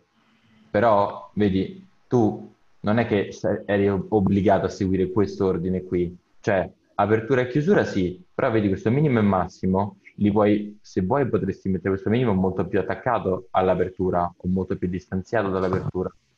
Nessuno ti dice dov'è che devi mettere il minimo. Perché non lo sappiamo, è un dato che non abbiamo, eh, quindi lo possiamo inventare e qui, e qui cambia eh, la musica a seconda di come fate l'invenzione. Ok? E come, che cosa possiamo prendere per, eh, di questi dati qua? Cioè, nel senso se alcuni so, cioè se sono già, se già vengono utilizzati uno per l'apertura, uno per, eh, eh, per il più alto, il basso e la chiusura. No, scusami, non, non, eh, poi lo salvi questo disegno? Sì, sì, sì, sì, sì, sì, ho fatto sbagliato a selezionare. Ehm, no- no, se- voi mi chiedete che cosa possiamo fare, io vi dico sempre, la risposta è sempre "Oh, Qualsiasi possiamo cosa. Qualsiasi cosa. Il punto è che ci sono cose che hanno più senso musicale e cose che hanno meno senso musicale. Per esempio, secondo me l'idea di eh, randomizzare il minimo e il massimo, cioè dove accade il minimo e il massimo all'interno degli intervalli di chiusura e apertura, no? È un'idea più musicale perché altrimenti avete sempre la stessa forma dell'inviluppo di frequenza. Queste dovete contare che sono dei glissandi di frequenze, ok? Cioè questo sostanzialmente farà sempre o con numeri diversi, ma farà sempre questa cosa, no? E come Invece facciamo a potete- sfruttarlo? No, io non ho capito più che altro come facciamo a sfruttare. Se già lo utilizziamo per l'ampiezza, per la frequenza, per Ah, l'attacco, no, no, no, eccetera. no. No, no, no, no, bisogna rifare tutto da capo. Mm. Ah, ah, ok, ecco, per questo non rifare tutto da capo. Allora, proporrei questo tipo di utilizzazione. L'action time è dato dalla, eh, dalla data. La durata è una creazione, non ce l'abbiamo la durata, non sappiamo, po- potreste... La durata ce potreste- l'abbiamo perché abbiamo fatto la divisione dei giorni per il minutaggio. Sì, aspetta un attimo, però la durata, è- potreste andare a vedere quanto stanno aperte le borse, no? Sì. Però in realtà eh, eh, già 24 ore è molto poco. Sì. eh, cons- consideriamo che la durata è 24 ore diviso per quel- quella divisione che abbiamo fatto, no? Soltanto che quella è troppo corta, secondo me, vengono delle note troppo corte. Quindi potremmo prendere in considerazione l'idea di eh, potremmo prendere in considerazione l'idea di ehm, allungarle arbitrariamente, cioè una, magari creare una giornata una, una la formula matematica con cui... Comunque, se volete delle ispirazioni, ci sta un sito si chiama Worldometers che, tiene conto di tutti. Beh, Eh. Worldometer, Worldometer ha i dati sul Covid, per esempio, Sì, che sono molto, sono molto interessanti. E la cosa è che molti dei dati del Covid stanno su GitHub, cioè li potete in realtà leggere in tempo reale. Eh, Mazza. eh? Ma do- dove nel caso una repository? Non lo so, non lo so, questo dovete andarli a cercare. Eh, Stanno, ci ci sono tonnellate di dati. Sì, Su- sì, ma sicuramente, ma anche su Wordometer, poi bisogna vedere in che formato sono, però sicuramente... appunto, eh, beh, eh, andate a guardare, cioè, le- le- le- sono sì, sì. sicuramente, per esempio, se fossero in XML si possono leggere bene, cioè XML è un formato abbastanza standard e riconosciuto. Adesso il punto non è questo, io, vabbè, l'idea di fare il il tracciamento del Covid è, è una, è una possibile idea, ma insomma, eh, un po' macabra, però, però sì. Vabbè, io Beh, volevo farla con l'inflazione certo. del Venezuela, quindi... o anche sì, ma quello che Io avevo provato a farla, a fare una cosa dodecafonica con, eh, con alcune cose, ma non ci sono riuscito. in che senso vuoi fare una cosa dodecafonica?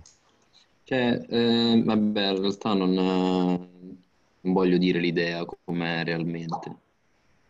Perché ti vergogni? No, dai, rubiamo. No, l'idea, Ah, l'idea no, è esatto, vabbè, rubate. Fa, fa mercato No, nero. l'idea, l'idea era tipo di, di fare praticamente tipo una sorta di composizione che era divisa in due, in, eh, diciamo, due quadri sonori di cui erano tesi e antitesi, e uno rappresentava la situazione di, eh, di, insomma, di, di disagio del- dello stare chiusi in casa, eccetera. Cioè, questo però per rappresentare la prima fase della, prima della pandemia, e l'altro invece la, la negligenza barra l'indifferenza delle persone e farle uno utilizzando delle, delle cose, delle regole in sacco ferrate, quella del, del rimanere in casa per rappresentarlo a livello formale, e utilizzando anche i dati come, eh, adesso non mi ricordo cosa avevo, avevo in mente, e poi invece quell'altro cercare uno schema più libero, eccetera. Quello che poi eh, è andato a scemare perché era troppo complicato, troppo difficile da fare. No, ma è, è interessante, però appunto dovete, dovete in qualche modo decidere come organizzare le cose. Ricordatevi che tutte le decisioni in questo caso qua sono espressive, no? Eh, la- per esempio, il fatto di... Cosa significa il fatto di fare una cosa dodecafonica? Eh, Significa che tu condizioni i dati in maniera, per esempio, diciamo che queste, per esempio, cerchiamo di applicarlo qua. Eh, quello che stiamo dicendo è che implichiamo che nessuno di questi dati si ripete prima che sia completa una serie che eh, sapete come funziona, no? La- la- Sì, le regole del decafonica come sono. in modo molto, molto semplice, però molto vago.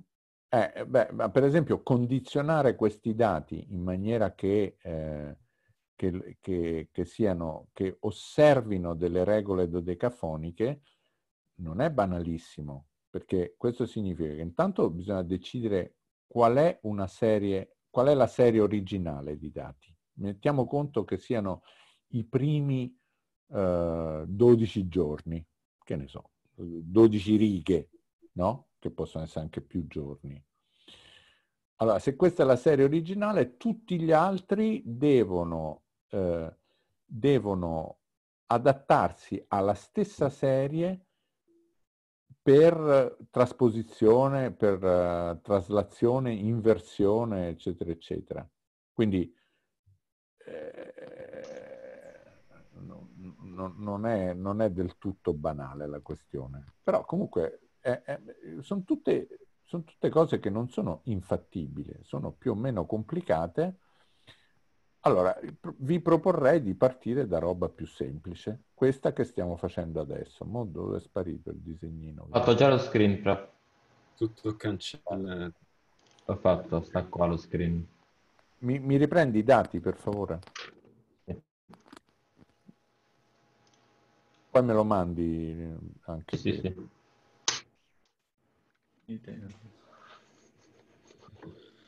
Ok, riguardando i dati, allora, eh, il primo, il pri- la prima colonna fa l'action time, la seconda, dalla seconda, terza e quarta colonna fanno la frequenza col proprio inviluppo, ok? Proprio idea come trasformare la data in action time. Come dici? No, non ho proprio idea di come trasformare la data in action time. Boh, non ci sto continuando a pensare. Ma perché tra? Eh, Guarda che è più facile di quello che... Eh, Scusa, ma perché so- ricominciano, cioè, quindi si, si mettono in, in ordine No, strano. no, non ricominciano mai. 2010-0101 è diverso da 2011-0101. Eh sì. Quindi se uno, se uno prende 365 giorni, lo moltiplica per 24 ore, lo moltiplica per 3600 secondi, sai più o meno no, a che secondo comincia un certo giorno. No? Mm. Poi naturalmente devi prendere il massimo e il minimo, fare sempre la stessa operazione di normalizzazione. Mhm. No? Bisogna fare un po' di calcoli, fra, però se poi lo facciamo anche insieme. Fateli insieme, ma sono, sono calcoli della spesa, eh, non è che sono calcoli che bisogna mettere in... sono aritmetica pura, non sono... no? Mhm. Mhm. E, e indovinate che a- avete uno strumento che si chiama calcolatore, indovinate a che serve. Il problema è che voi lo usate sempre come tostapane, mentre invece eh, eh, lo potreste usare appunto qua lo stiamo usando per quello che sa fare. Oh, allora, questi, questi quattro, quindi sì, vi chiedo appunto di randomizzare il massimo e il minimo all'interno dell'intervallo di open close, no? Eh, in maniera che non capitino sempre nello stesso punto e si possano anche invertire, soprattutto è interessante l'inversione, cioè massimo e minimo possono accadere prima uno poi l'altro oppu- oppure l'altro e poi l'uno. Poi la... Secondo me, prof, però non, non si sentirà niente, sarà troppo veloce. Eh, e quindi rallentate la cosa, cioè fatele più lunghe le note, ok? Il- Quindi sì, si sovrapporranno, ok? Si sovrapporranno, dovreste fare in modo che quando c'è una pausa di, di- di traffico più sostenuta, perché ci saranno, ci sono delle pause, in qualche modo il suono si affievolisce e, e- e- anzi sarebbe, era bello nella, nella, questio- nella cosa iniziale che ehm, Io faccio un volo al bagno.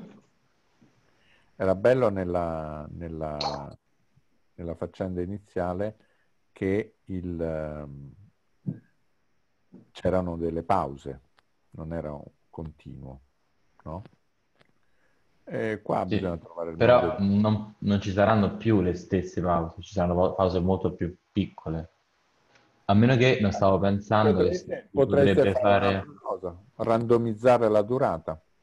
Oppure, per esempio, allora, noi abbiamo un altro input che è il volume di azioni scambiate, no?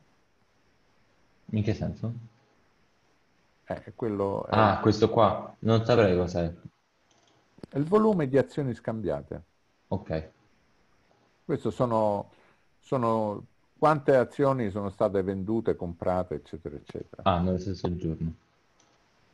Sì, penso di sì, eh, penso che sia questo, ma non me ne frega niente. È, è Mhm. un dato di volume, no? Allora, Mhm. questo dato di volume io lo utilizzerei sia per l'ampiezza e potremmo anche utilizzarlo per la durata, cioè a maggior volume di azioni scambiate c'è una durata maggiore, a minore, per esempio, il primo dato chiaramente è uno zero. Non succede niente, quindi quella nota viene buttata via, una nota silenziosa. Ok? Mhm. Dicevate, eh, quello del volume rappresenta sempre il volume?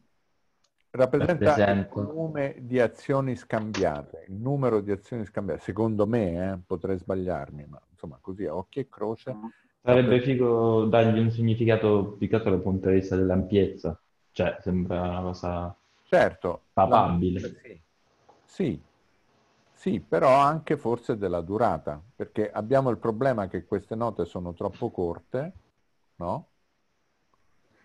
Allora eh, potremmo farlo che sono proporzionali, le- la durata è proporzionale al volume. Ora però c'è un problema, che se noi le colleghiamo in maniera in forma diretta, ampiezza e durata, significherà che le note lunghe sono forti e le note corte sono brevi. Potremmo fare esattamente il contrario, cioè va, è inverso, potremmo fare che l'ampiezza è inversamente proporzionale al, allo- al- al volume scambiato, no? Mhm. Oppure, oppure che la durata, insomma, vedete voi. Insomma, Ma è proprio bannata l'idea di standardizzare la durata? Cioè, la monodia si può fare fondamentalmente? sì, Ok. Sì. Il problema è che noi qua avremo una scansione, adesso ve la, ve la canto, no? Tum, tum, tum, tum, tum, tum, tum, tum, tum, tum, tum, tum, no? Perché avete, mm-hmm. quando i dati sono uno, uno di seguito all'altro, eh, sarà anche molto più veloce di così. Ok? Eh sì, sì, sì. Uh, per cui vedete voi, cioè non... carta bianca, ma non così avete bianca. la carta bianca su questo, non avete, non avete carta bianca sulla possibilità di modificare questi dati. Questi dati sono quelli che sono, li potete buttare via, potete decidere ne prendo uno al mese, in mm. maniera, mm. ok? Potete fare quello che vi... li potete buttare via, ma non potete modificare il file ok? Il file è quello che è, quello è intoccabile. D'accordo? Se volete ho anche dei file delle aziende che sono fallite, quindi tutti possono prendere anche quelle. Lavoriamo su questo, poi, poi, se volete facciamo, la prossima volta facciamo una composizione collettiva sul Covid. Magari un linguaggio un po' più... Ruby magari. Sì un linguaggio un po' più un po' più migliore. Ok, possiamo chiudere qua questa parte? Mm-hmm. Ok. Ok. E adesso eh, vorrei, vorrei, vorrei introdurre appunto questi aspetti che stavamo dicendo che riguardano eh, la, la, la, l'analisi e, e, i ragionamenti che stanno su eh, la musica concreta. Avete ascoltato i pezzi? Mm. Come? Sì, sì, sì. No, no, Gabriele ha detto qualcosa. Ah, ho detto oh yes. Li avete ascoltato? Ok. E, ehm, Ok, ne avete tratto qualche conclusione? Io mi sono fatto degli appunti Vede... li ascoltavo, però. mm-hmm. Vuoi leggerceli? Io... Ah. No, di, Filippo, di. No, io, io in realtà pure mi sono fatto delle domande e ho cercato qualche inter- interviste, se così si può dire, non so come dire, degli articoli, non delle interviste.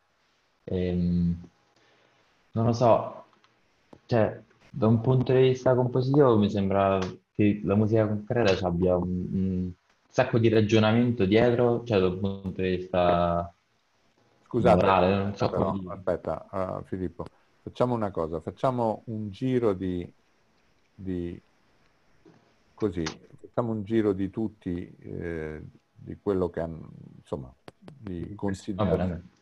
Ok? Possiamo? Benissimo, benissimo. Certo, certo, certo. Allora, cominciamo. Francesco, dai.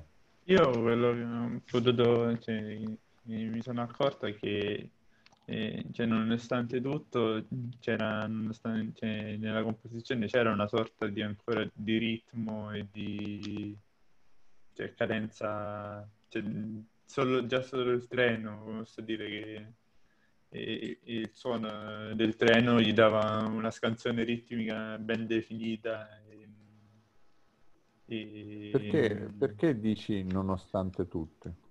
Perché cioè, non era in, è, è, una sorta pure di ricerca de, dell'uscita dalla composizione classica, però in un certo senso ci si rientra sempre dentro. Beh, eh, allora, intanto bisogna, bisogna, dire una cosa, che eh, voi qui eh, avete ascoltato i primi esperimenti di eh, cosiddetta musica concreta, eh, che erano legati anche ad alcune eh, hanno alcune limitazioni tecniche, no? e, ehm, che però queste limitazioni, come spesso si usano le limitazioni tecniche in campo eh, sono state usate appunto da Schaeffer musicalmente. Mm, in realtà, se voi ave- avete ascoltato musica, che ne so, degli anni 30, degli anni 40, cioè prima della guerra e prima quindi della comparsa di questi metodi, di, questi, di queste possibilità, avrete, avrete sentito che per esempio a fronte di un crescente eh, atonalismo, atonalismo significa liberazione dalle, dai condizionamenti della tonalità, c'è anche un crescente atonalismo ritmico, cioè eh, la, la, la, atonalità ritmica significa usare i ritmi e, le, uh, il, il, ritmo, il metro, tutte queste cose qua in maniera eh, molto articolata. Se, se, se, prendete la musica di Weber, no? anche la musica di, di Berg, eh, o prendete chi vi pare, forse quello che era più legato a, a, a un ritmo di tipo tonale, intendo dire tonale non in senso armonico ma in senso ritmico, tonale nel senso che segue le regole metriche del ritmo, quindi con cadenze, eccetera, eccetera, ci sono persone anche nel tipo Hindemith, che è più, eh, è più legato a questo tipo di cose. Però in linea generale ci si stava anche emancipando. Uno dei primi, eh, questo, il fenomeno di, di, emancipazione io lo leggo anche in Brahms, ma, ma voglio dire, eh, per esempio è evidente in Stravinsky eh, e poi è evidente in tutta una serie di compositori. Nel caso di Schaeffer,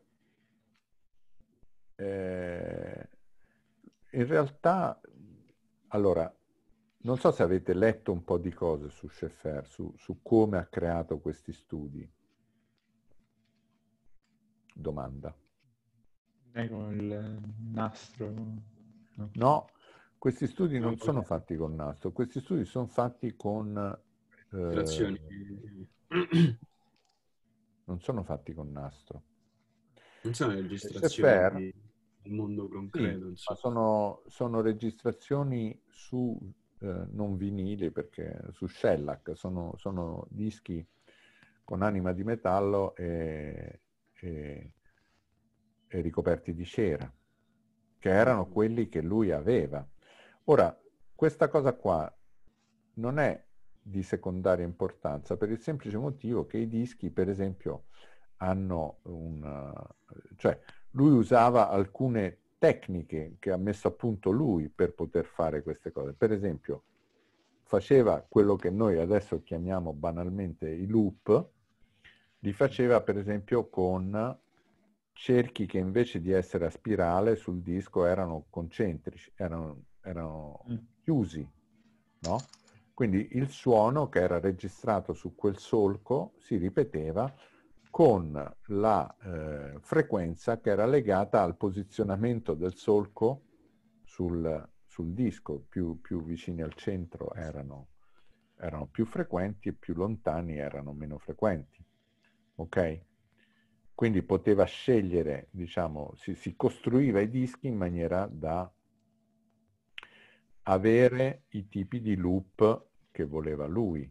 Però sempre di loop si trattava. E poi c'erano, okay, poi c'erano anche i dischi convenzionali eh, con, con uh, il solco a spirale. Ok? Quindi eh, questa cosa qua sembra più legata a, a, un condizionamento di tipo tecnico, no? Cioè lui, questi erano gli strumenti che aveva e questi erano gli strumenti che, che usava. Però la verità è che di questi strumenti eh, ce n'erano tanti e lui scelse alcuni per fare questi studi e non altri, scelse alcune tecniche, ok? di ricombinazione di questi suoni per, per fare questi studi. Ora, al di là delle tecniche, Vabbè, continuiamo il giro. Vorrei, vorrei un po' di, di vostre impressioni su questa cosa.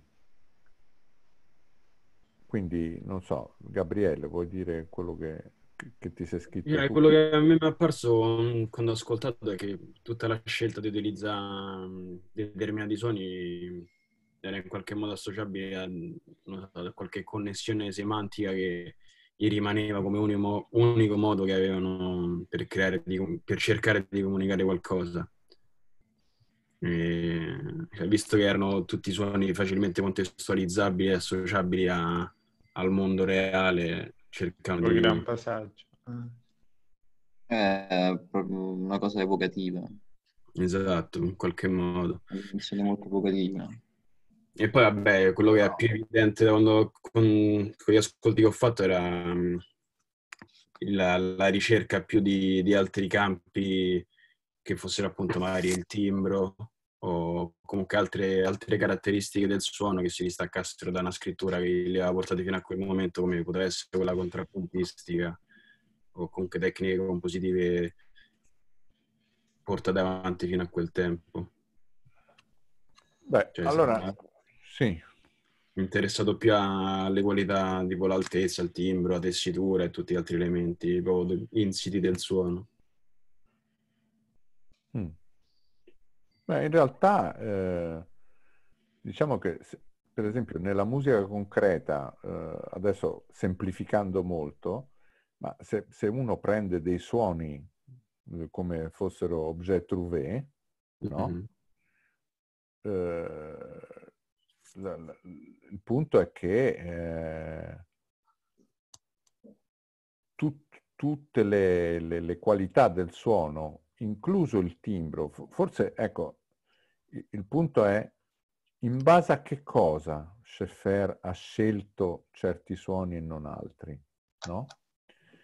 E- ed è possibile ipotizzare, come dici tu, che, eh, che- che li abbia scelti in base al timbro, però in realtà eh, questa è una nostra presunzione, nel senso che non, non sappiamo veramente in base a che cosa. E può darsi che appunto li abbia scelti in base al timbro come prima eh, caratteristica perché come dici tu o come dice Giulio sono evocativi di eh, un certo tipo di... Su questo ci voglio tornare perché non, non- non sono, secondo me non è molto convincente, vi voglio, vi voglio porre degli argomenti contrapposti a questo, ma ehm, è chiaro che una volta che uno ha scelto il suono, eh, tutto viene con lui, nel senso l'altezza, il, il, eh, qualsiasi altra cosa avviene insieme a lui. Eh, vorrei finire il giro con... beh, eh, Giulio, hai detto già la tua? O, o la... Boh, bene o male, quello che ha detto Francesco e Gabriele, cioè nel senso non, non ho molto da aggiungere. Ok, Filippo? Quello che ha detto lui. Io mm, non lo so, ma magari proprio rimanendo su, proprio su Etude o Chemin de Fer, quello che ho pensato in realtà era che, da aggiungere alla cosa che diceva Gabriele, che in realtà oltre a- allo schema ritmico, secondo me rimane un sacco anche proprio lo scheletro di quello che è cioè il brano normale come lo conosciamo, cioè ci sta la presentazione, ci sono gli elementi che appaiono la prima volta, poi altri poi ritornano, però non ritornano appunto a caso, ritornano soltanto insieme a quelli che precedentemente li hanno accompagnati, eccetera, eccetera. Quindi una specie di... La narrativa è rimasta la stessa che, che c'è, c'è stata anche nei brani fino a quel momento, Non è la narrativa, è quello che tu, quello che tu hai descritto è la forma. Una partitura. C'è una, c'è un'introduzione con la presentazione dei materiali eh, e poi sì, in effetti hai ragione, nel senso che da questo punto di vista sono estremamente classici, no? Classico, intendo dire classico, rispettano eh, dei canoni eh, che permettono un ascolto eh, tutto sommato mh, mm, abbastanza, non sono di ascolto difficile, almeno non lo so per me, però non so per voi. In, in più sono molto brevi, quindi... Eh, infatti sta chiaro... pure la durata e... Beh, ma su tutte queste cose, per esempio... Eh. Sì, sul coso, sul treno, quanto devi dire? Cioè, dopo due minuti che hai fatto sentire il coso... Beh, diciamo, che, diciamo che sì, si può dire con un linguaggio un po' più aulico, ma sì, sostanzialmente sì, sì. i materiali hanno una certa eh, durata. Quello che, quel, cioè, sono, sono, della legna che arde per un certo tempo, non è che si può, no? Allungare più di troppo. Filippo, tu, tu che cosa, che cosa c'hai altro da aggiungere? No, io mm, cercavo più un, però penso che venga da sé, una, una visione un po' d'insieme di quello che dovevano averci in testa appunto i primi, tipo, i primi pionieri tipo Schaffer, quando hanno detto vabbè, ma vediamo che cosa si può fare con questi nuovi strumenti, perché è quello che mi manca, dal punto di vista storico proprio, non riesco a capire perché hanno deciso di fare quello che hanno fatto. Ecco, allora, eh, ragioniamo un po' su questo. Mm. Che cos'è che sappiamo noi? Cioè, sappiamo... Mm, perché il problema grosso è questo. Eh, la storia della musica nei primi anni 50, cioè nei primi 50 anni del Novecento, compie dei passi estremamente importanti ed è una storia generalmente poco studiata e in generale anche molto complicata da studiare perché succedono un sacco di cose eh, e non è facile tener conto di tutte le interazioni. Però c'è una cosa che succede che sta, eh, diciamo, allora, eh, c'è una cosa che accade musicalmente e che si può semplificare relativamente, non è, non è così semplice, ma è che durante tutto il periodo romantico, durante l'Ottocento, quello che si va via via sempre più delineando, voi, voi dovete pensare una cosa, scusatemi, eh, sto saltabeccando, sto cercando di trovare il, il punto di partenza perché eh, sono rapidamente arrivato a Palestrina. Nella, la musica inizia, la musica in Occidente, eh, stiamo parlando sempre re, molto relativa, però inizia come musica vocale, no? Eh, eh, il passaggio alla musica strumentale, che è una cosa che avviene eh, diciamo nel tardo medioevo, nell'inizio del Rinascimento, non è così scontato eh, come, cioè no, no, non è andata così liscia come come si potrebbe pensare. Cioè, è chiaro che eh, nella, nella, nella, fase, diciamo, vocale che corrisponde anche a un interesse legato a eh, funzioni rituali, no? Questo però molto prima, cioè in che periodo? Stiamo storico? parlando del 1400, 1500. Okay. ok, no, ma questo per... per sì, sì, per fare un'introduzione. Il, il passaggio alla, alla alla musica strumentale è stato un passaggio estremamente mh, discusso, litigato, ci sono le litigate tra, eh, tra i seguaci di Boezio, Monteverdi, eh, no? Perché il passaggio a, all'utilizzo di strumenti eh, ha anche consentito un passaggio da una visione della musica come arte del quadrivium, quindi della, della eh, eh, la musica era considerata una branca della matematica, non, non, era separata da questo. Questo stiamo parlando appunto di un contesto di monaci, abbazie, cose di questo tipo. Quindi eh, quando la musica ha tentato di liberarsi sia con i madrigali, sia con l'inizio del melodramma, sia con l'introduzione, perché la, la, liberazione è arrivata attraverso gli strumenti. Con la voce si possono fare un certo numero di cose, ma l'invenzione, eh, di, diciamo l'invenzione, la musica dedicata per esempio alla, alla, alla, alla creazione di emozioni era vista estremamente male in quel periodo. Cioè era roba, adesso, eh, da, eh, da prostituzione musicale, eh, capite? Dal punto di vista proprio linguistico della musica. Poi naturalmente, eh, eh va bene, sappiamo la storia com'è andata, la storia è che la musica si è liberata da questo aspetto e ha cominciato a evolversi in termini eh, armonici, melodici, eccetera, eccetera. Guardate che questo passaggio qua non è banalissimo, e questo lo studierete in storia della musica, ma non è banalissimo perché, eh, per esempio, ci sono altre culture in cui questo passaggio non è mai avvenuto. La musica indiana è una musica puramente rituale, che ha strumenti, eccetera, eccetera, però eh, eh, che sostanzialmente non evolve. Okay?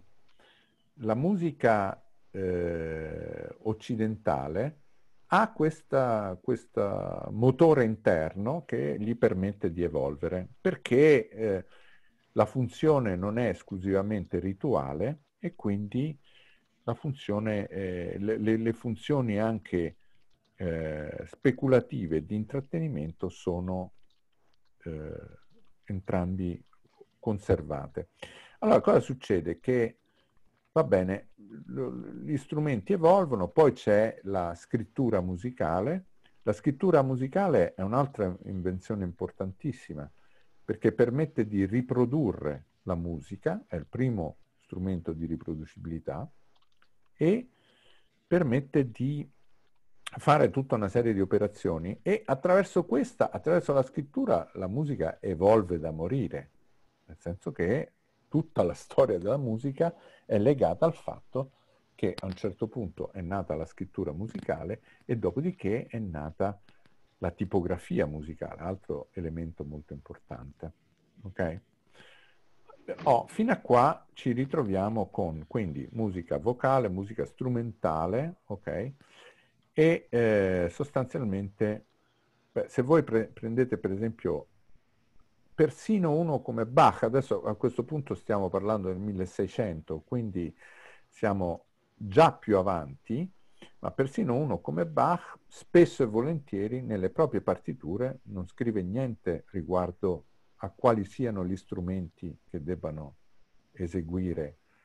Perché? Perché c'è una prassi strumentale consolidata, si sa che appunto eh, de- delle, delle opere che sono scritte in due parti o in tre parti eh, hanno le due parti in contrappunto e la terza parte il continuo, eh, cioè quindi un basso diciamo che è standardizzato, formalizzato. E quindi eh, si, può, si, può, dire che eh, in quel periodo là la musica si stava sviluppando come materiale soprattutto armonico e melodico e ritmico ma dal punto di vista timbrico in realtà, mm, cioè, il punto di vista timbrico è come, è come se noi oggi dicessimo, va bene, ma tu questa musica dove vai a eseguirla? Eh, che ne so dove vado a eseguirla? Vado in un teatro grande, in un teatro piccolo, fa lo stesso, no? E poi un giorno invece ci si sveglia e si dice no, questo non può essere fatto in, un teatro grande perché non funziona oppure non può essere fatto al contrario. No? Capite quello che voglio dire? Anche cioè, da dire cioè che c'erano talmente tante regole di, composi- di, composizione che non c'era più praticamente immaginazione da parte dei compositori. Ma veramente questo non è vero. No, però... È voi che percepite che ci sono tante regole. In realtà le regole sono sempre aumentate col, col passare del tempo. È, è, soltanto che eh, eh, voi, li, lo, voi le prendete come regole. La verità è che sono possibilità. Cioè mm. i compositori no, non intendevano eh, le regole come dei roba su cui fare i compiti. Per loro erano possibilità da usare. È come, eh, quello che stiamo dicendo adesso. Cosa si può fare con quei, con quei dati eh, che abbiamo? Ma che si può fare? Si può fare questo, si può fare quell'altro, ma è chiaro che... Penso musicalmente farli ogni, ogni cosa musicalmente ci avrà il suo risultato, quindi eh, stabilirete voi stessi le regole delle mm. cose per fare in modo che le cose funzionino musicalmente. Ma questo l'hanno sempre fatto i compositori. I compositori è sempre successo questo. Non è che poi quando è chiaro che quando si studia eh, composizione, per esempio, tradizionale, è chiaro che si studiano le regole che esistevano, le possibilità che esistevano in un certo periodo storico e non altre, no? Quindi vi sembrano delle regole, ma le regole non sono mai state regole in senso aritmetico o matematico del termine. Comunque, per tornare ai nostri polli, eh, quello che succede è che man mano che si va avanti con, eh, nel tempo, beh, eh, la caratterizzazione strumentale diventa sempre più importante. Cioè, eh, già Haydn e Mozart eh, scrivono gli strumenti, no? E si aspettano che gli strumenti vengano rispettati. Però, per esempio, il concerto per clarinetto di Mozart, quello che viene il K622, quello che è conosciuto come il concerto per clarinetto di Mozart, in realtà era scritto per corno di bassetto, che è uno strumento che è una specie di clarinetto un po' più grande, eh, che eh, è uno strumento che mentre Mozart era ancora vivo stava andando in disuso, anche se si usava. C'è un suono più bello del clarinetto, per cui Mozart aveva scelto quello, però eh, non essendoci il corno di bassetto si poteva fare col clarinetto, capite? E c'erano delle, delle cose di questo tipo. Verso la fine dell'Ottocento succede che, succede che il, l'attenzione per il timbro diventa tale che molti compositori cominciano a lavorare con gli utai per ottenere eh, sì, nascono le famiglie. Per ottenere dei, dei, degli strumenti che possano servire alle loro necessità espressive. Questa anche è una novità. Di solito gli liutai erano music- musicisti essi stessi e, la, e, e, i compositori usavano quello che facevano gli liutai, punto. Però, per esempio, Wagner comincia a lavorare con Eckel, che era un costruttore di fagotti, per costruire strumenti che andassero più in basso e, e, e Strauss perché aveva bisogno di un tappeto di fiati eh, più, più potente. E, e, Strauss, per esempio, usa gli strumenti fatti da Eckel. In realtà Wagner non, non credo che ci, ci, sia mai riuscito. Però eh, Strauss usa, usa, questi strumenti che sono gli Eckelphone, oppure, però per esempio poi ci sono anche le tube wagneriane, queste, che sono, va bene, c'è tutto uno sviluppo legato a questo. Però cosa succede?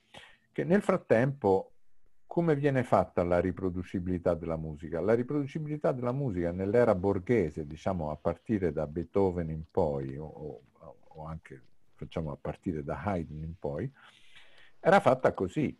Eh, I compositori in erba come voi, per esempio, si allenavano facendo eh, trascrizioni per pianoforte delle varie opere orchestrali, delle varie composizioni. E questo cosa, eh, cosa porta? Porta che appunto la gente potesse avere il giradischi di casa, era la figlia maggiore che suonava il pianoforte. Ah, sì, questo c'era quindi, la prima lezione. Sì, e quindi questo, eh, questo fa sì che la riproducibilità avviene attraverso uno, la trascrizione di, di strumentale. Però questa trascrizione, vedete, eh, cosa si perde? Sicuramente il timbro. Mm. Nel senso che... Eh, Però omogenizzato al pianoforte poi. Eh, uno se lo doveva immaginare, no? Cosa succedeva? Mh, incidentalmente questo significa puntare tutta l'attenzione sulla costruzione armonica, melodica, ritmica, formale, ok? E tralasciare gli aspetti timbrici che uno si doveva in qualche modo immaginare. Ok?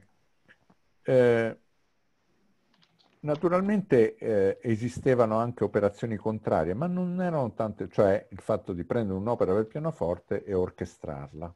Ok? non era una cosa tanto diffusa perché generalmente questo era come funzionava la composizione per i compositori stessi. Generalmente loro scrivevano al pianoforte, usavano il pianoforte come macchina da scrivere, diciamo, e poi l'orchestrazione era una fase successiva alla scrittura. Eh, con la fine del, alla fine del secolo compare la riproducibilità dei suoni. Questo cambia tutto, capite? cambia assolutamente tutto nella percezione della musica, perché la percezione intanto diventa, mh, si allarga, diventa di massa e questo ha, ha alcune conseguenze, ma anche permette di mettere l'attenzione sui, uh, sui suoni, su, sulla... Quindi la riproducibilità diventa una chiave di lettura eh, che permette di capire che cosa succede nei, eh, nei primi anni 50. Intanto la, diciamo, la ricerca timbrica, se voi, se voi, ascoltate, che ne so, il quintetto Opera 5 di Webern, vi rendete conto di quanto, eh, sì certo, lì c'è serialismo integrale, c'è di tutto, ma no, l'opera 5 no, è, è ancora tonale, ma insomma lui ci stava arrivando molto rapidamente. E c'è, so, c'è, sentite, sicuramente una ricerca timbrica sugli archi. Okay? Adesso il, il, problema è che questa, questa cosa qua, quindi c'è un certo sviluppo, quando la riproducibilità esce fuori dall'ambito industriale e soprattutto compaiono, compaiono dei veicoli di riproducibilità, la radio, no? Allora è, è, a quel punto che i compositori, e guardate, io faccio fatica a considerare Scheffer un compositore, nel senso che Scheffer era un... Eh, No, no, no, no, no. Scheffer era una persona molto, eh, era un, un, alto funzionario dell'ORTF, della, della radio francese, mm. Il quale in, in, virtù della propria posizione di potere, insomma, poteva, poteva dirigere, no? per esempio, le ricerche di, eh, dell'ORTF e ha deciso di dirigere in questa, in questa operazione che è poi diventata la musica concreta. E questo non è, non è un fatto, non, non, non, sto sminuendo il ruolo di Scheffer, però è anche vero che Scheffer aveva una, una preparazione abbastanza eh, così, diciamo, non, non, ferratissima dal punto di vista eh, era una persona di grande cultura, io l'ho conosciuto Scheffer, era una persona che insomma quando parlava non è che parlava dei bruscolini, era di grande cultura. Queste, queste cose che lui ha scritto si chiamano étude, non a caso, cioè non avevano la pretesa di essere eh, qualcosa di molto sofisticato dal punto di vista compositivo, ma avevano la voglia di eh, elaborare, eh, cioè di utilizzare delle macchine nuove che lui aveva a disposizione per provare a fare delle, eh, delle elaborazioni di tipo musicale. Questa roba qua, più che l'interesse musicale nella, nei, nei, singoli studi, suscitò un interesse pazzesco in tutti gli altri compositori, cioè tutte le, eh, tutti i compositori a partire da Boulez, Stockhausen, tutti quanti sono passati da Schaeffer. Dopodiché se ne sono immediatamente allontanati. Schaeffer è stato molto criticato per questi studi, però questi studi hanno un'importanza storica fondamentale.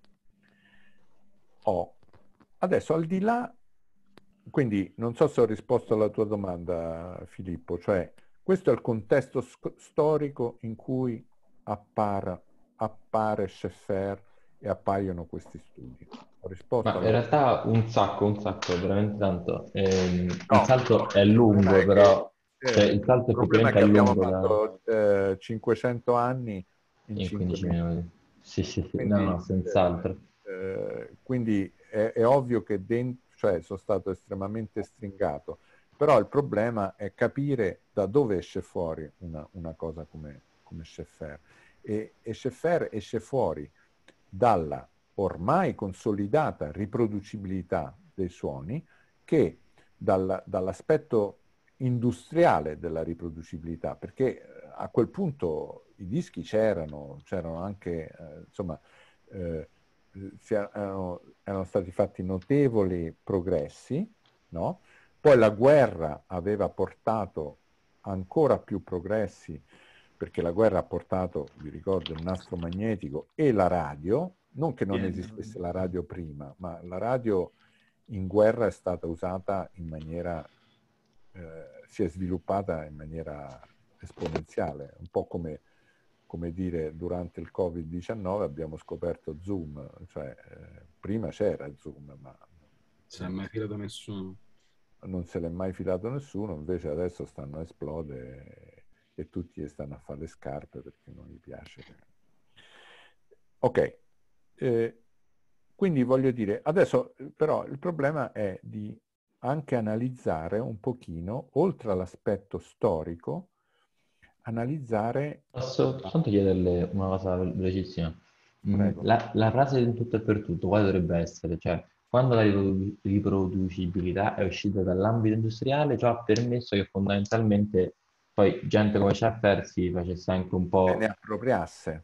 Esatto, i, i, i, suoi Una volta, insomma, all'inizio del secolo, diciamo, tu avevi eh, il giradiscone con la tromba, eccetera, eccetera. Grammofono. Avevi il grammofono e c'avevi i dischi di Caruso. I dischi di Caruso venivano prodotti da una certa industria, no? Mm. E non, non ci potevi fare nulla cioè potevi ascoltarteli, ok?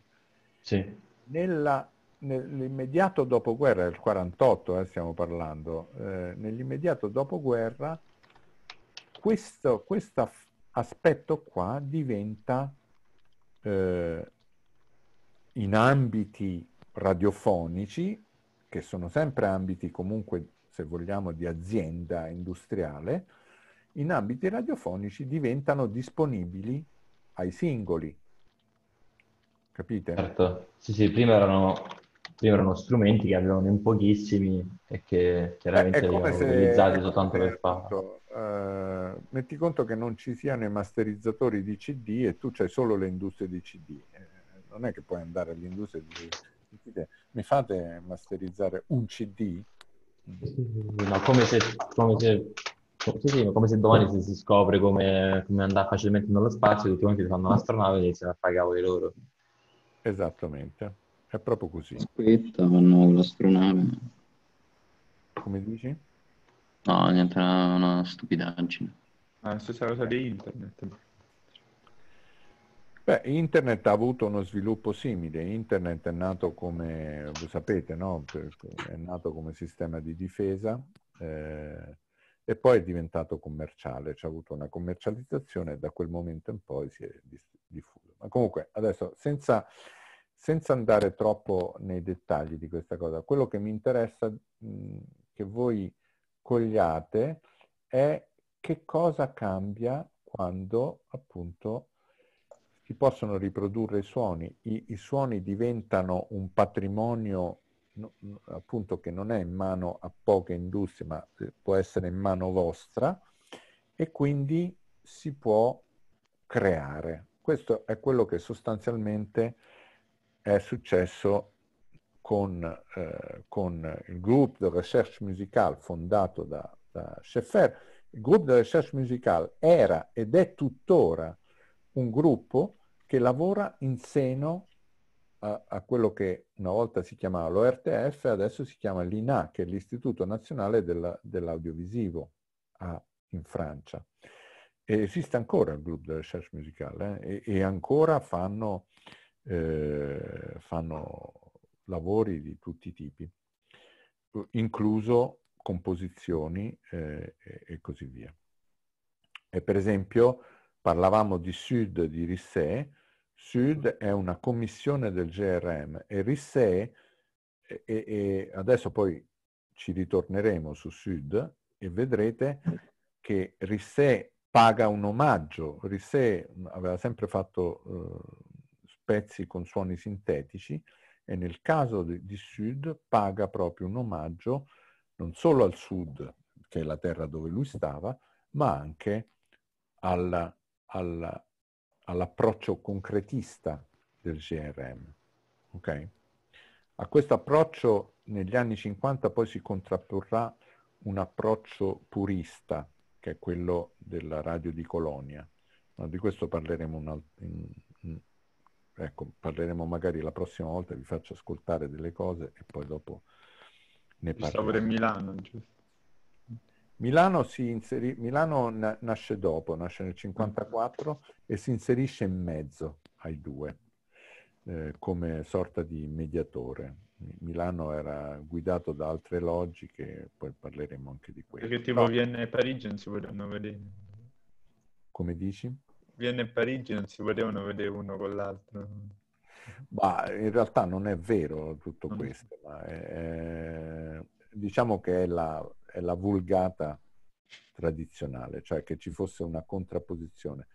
Ma in effetti all'inizio c'era una contrapposizione, ma adesso non vorrei parlare di questo perché ne parleremo più approfonditamente un'altra volta. Quello che vi volevo far notare è che cosa succede quando uno prende dei suoni da fuori, perché questo poi è una cosa che potremmo sperimentare noi stessi, cioè fare degli esperimenti con questo, con gli strumenti che abbiamo adesso che sono molto più sofisticati.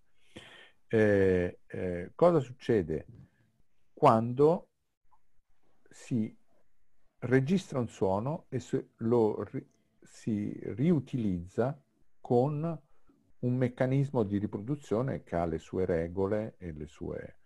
Allora, vedete che eh, voi dite eh, eh, diciamo, il, il, suono del fischio del treno, il suono del treno, eccetera, eccetera, sono suoni suggestivi perché immediatamente riconoscibili e contestualizzabili. Ma io potrei dire esattamente il contrario. Nel momento in cui io prendo questo suono e lo levo da, dal, dal, panorama sonoro in cui lui si eh, appare, mm, è, è, come se lo, stessi teatralizzando questo suono, cioè lo, lo, lo uso come attore teatrale, no? Un po' come... È, un, è una cosa... Come dici? No, forse non c'è... No, volevo dire un po' come in arte del shampoo con i pisciatori. Non forse... Beh, eh, ecco, ma, ma, ma, non sono scollegate le due cose. Cioè, il pisciatoio di, di, di Duchamp era un, eh, un modo molto provocatorio o la ruota di bicicletta sì, di, di decos- decontestualizzare una cosa che però per noi ha un contesto preciso e significante, no? e metterla in tutto un altro eh, contesto. Tra l'altro, eh, la, la, posizione in cui è messo il pisciatoio e le, a quel punto diventano estremamente significanti, no? Perché eh, eh, cambia forma sostanzialmente, eh, trovandosi messo in orizzontale in quel modo là. Cioè, quindi, eh, eh, naturalmente, da, Duchamp fa un'operazione del genere nel tentativo di, di, di far ragionare le persone su che cosa che cosa sono quegli oggetti che noi vediamo dentro, per esempio, un'esposi- un'esposizione. E eh, in realtà Schaeffer, che mh, è, un, è, in parte figlio del surrealismo, no? eh, ha, ha, fatto parte di quella cultura là, eh, quindi non è, non è estraneo a questa cosa qua, riutilizza i suoni esattamente nel modo, eh, in modo da decontestualizzarli e dargli delle valenze musicali. Per esempio, quando dite, ah ma quel suono poi si ripete, tutto sommato è in una forma eh, che è abbastanza assimilabile a una forma tradizionale. Beh, fate un'osservazione molto giusta, cioè il, le, è vero, quella forma là è, non è un caso che, che Schaeffer la utilizza, perché gli serve, è come appunto Duchamp che mette il pisciatoio, dove lo mette? Non è che lo mette in un angolo di strada, perché quello è un pisciatoio buttato, no? Mentre invece lo mette in mostra, no? Lo, lo, mette su un, su un piedistallo dentro una mostra ed è quella l'operazione importante. È un'operazione surrealista, ma è quella l'operazione importante. Mettere i suoni del, dei chemin de fer all'interno di un contesto musicale significa in qualche modo metterli in mostra e il contesto musicale bisogna che sia chiaramente il contesto musicale, capite? Mm. Cioè, non è che poteva estrapolarli e poi rimetterli all'interno di un suono di stazione, perché lì avrebbe perso l'operazione. Eh, sarebbe stato valorizzato in qualche modo. Come? Non si sarebbe valorizzata questa estrapolazione. No, muore tutta l'operazione musicale che c'è dietro. Okay? L'operazione musicale consiste nel prendere questi suoni, che sono suoni, eh, diciamo qualsiasi, ok? E farli diventare oggetti musicali, oggetti sonori in primo, e la, la, parola oggetto sonoro l'ha inventata Schaeffer, e in secondi di farla, eh, di fargli acquisire delle proprietà musicali. Ok? Assolutamente. Quindi, quindi quest, quest, diciamo che questa è una possibile chiave di lettura. Eh? Eh, c'è un'altra chiave di lettura che è quella futurista. Eh, Schaeffer aveva sicuramente eh, bene a mente tutti gli esperimenti del futurismo italiano, no? di, di Russolo, di Marinetti, della poesia sonora e anche, eh, diciamo, tutta la logica e la filosofia che, che stava dietro questa, uh, a questa filosofia, che consisteva nel cercare di introdurre diciamo, i suoni industriali, i suoni della città, i suoni urbani, come, eh, come potenziali suoni musicali, solo che Russolo, per esempio, non aveva i mezzi che aveva eh, Schaeffer e si era inventato degli strumenti che in qualche modo, gli intonarumori famosi, che in qualche modo replicavano dei suoni, tipo i gorgogli, gli sfregamenti, eh, cioè... Sì, abbiamo suoni... fatto anche con Bracci l'ultima lezione. Beh, Io no. Ah, peccato. Diverso. Va bene. Perso delle cose divertenti. Tu sta dicendo anche il maestro. Beh, mi fa piacere, mi fa piacere che per esempio che anche vi si parli da, da, molte angolazioni di quello che è successo nei primi anni 50, perché vi devo dire che eh, eh, siccome una, la composizione de, de, dei primi anni 50 è, è molto complicata da insegnare, la tendenza è a non farla o quantomeno non arrivarci, ma è estremamente importante che voi capiate qual è il contesto in cui nascono tutte queste cose. Anche perché, ecco, questo per esempio è un, un, un atteggiamento nato nel 48. Adesso nel 52, per esempio, c'è una, un'altra cosa che nasce, che è la, la, il laboratorio sperimentale della Westdeutsche Rundfunk di Colonia, dove eh, ci sono delle figure come eh, Meyer Epler, Heimert e infine il giovanissimo Stockhausen, i quali eh, cominciano a lavorare su tutto un altro aspetto e stavolta col nastro magnetico, che è una notevole eh, evoluzione rispetto ai dischi. Se volete, eh, vi do delle cose da ascoltare per la prossima volta e la prossima volta parliamo di quelle. Però dovete andare anche a vedervi tutte le informazioni che ci sono riguardo. Certo. Allora, quello che potete fare è, gu- è guardare lo studio 1 di Stockhausen mm. e lo studio 2. Uh, in rete c'è di tutto su questa roba qua. E stanno anche le partiture grafiche su YouTube. Di Studio 2 sì, di Studio 1 c'è solo la prima pagina che ha fatto, poi si è stufato di farla e, la prima pagina.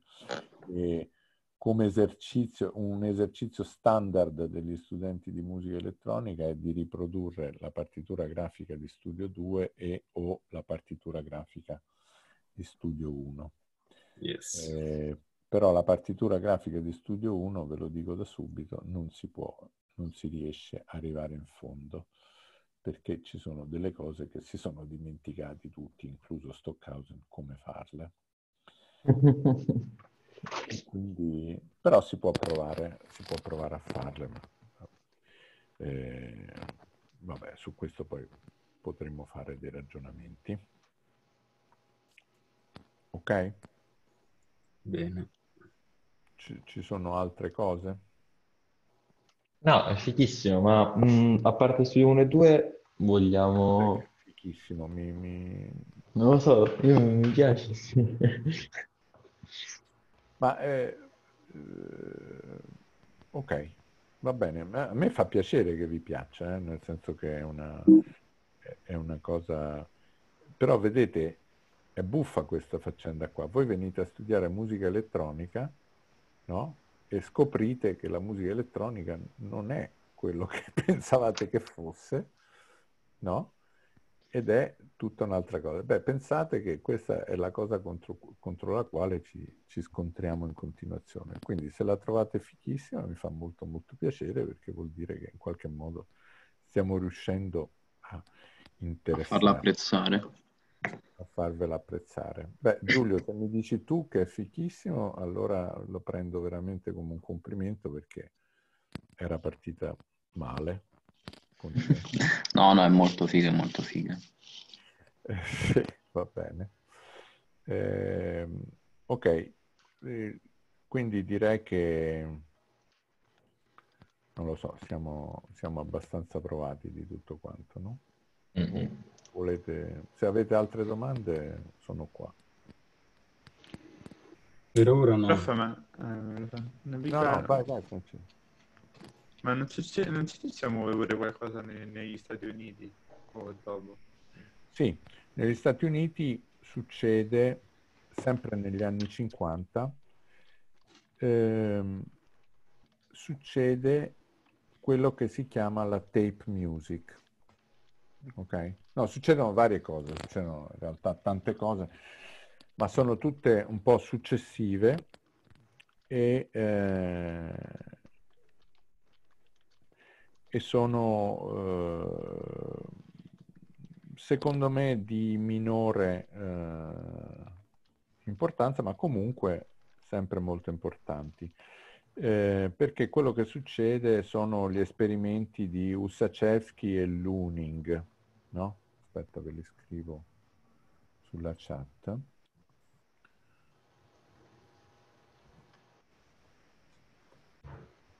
E Otto Luening, che sono due, eh, due compositori che utilizzano il nastro magnetico come strumento di riproduzione, ma di suoni strumentali.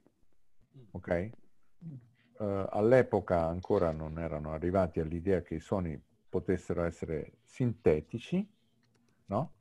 Quindi quello che fanno è di utilizzarli, di registrare strumenti e di utilizzare queste registrazioni okay? e di realizzare delle composizioni sulla base di suoni strumentali.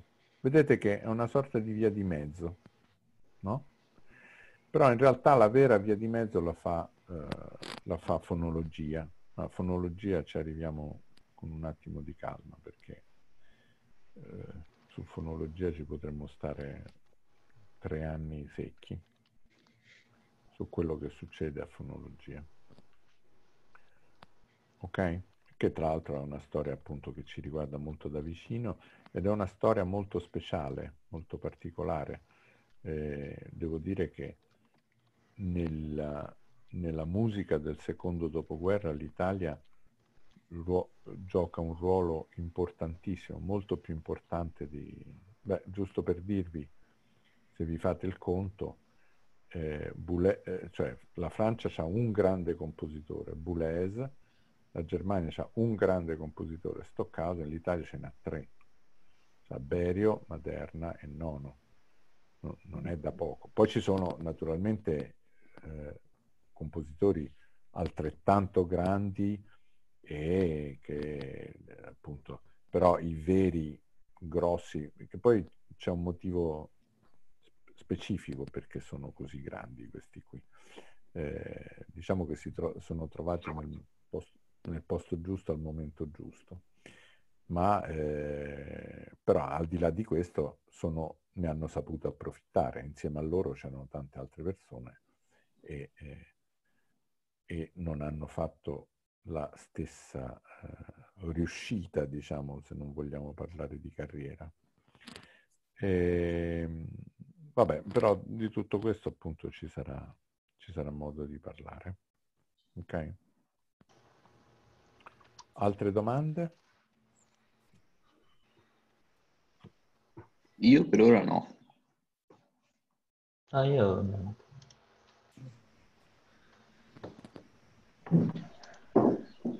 Io c'è, c'è una cosa che mh, mm, bisogna, ci, ci dobbiamo ehm, eh, così darci una regolata, ma lo dico soprattutto a me stesso, per quanto riguarda gli esperimenti musicali che facciamo, perché io sto un po' a, sto un po' a rimorchio vostro, ma in realtà dovremmo adottare un po' più di, di metodo, perché per esempio avevamo cominciato con dei suoni concreti, no? il didgeridoo di Francesco, e poi adesso abbiamo svicolato invece su un, su un aspetto eh, così algoritmico che non mi dispiace, è giusto che voi impariate, sappiate quantomeno che l'unico limite è la vostra immaginazione, cioè è, è, è quello che riuscite a immaginare e, e, che sappiate anche un'altra cosa, che però non tutte le idee hanno la stessa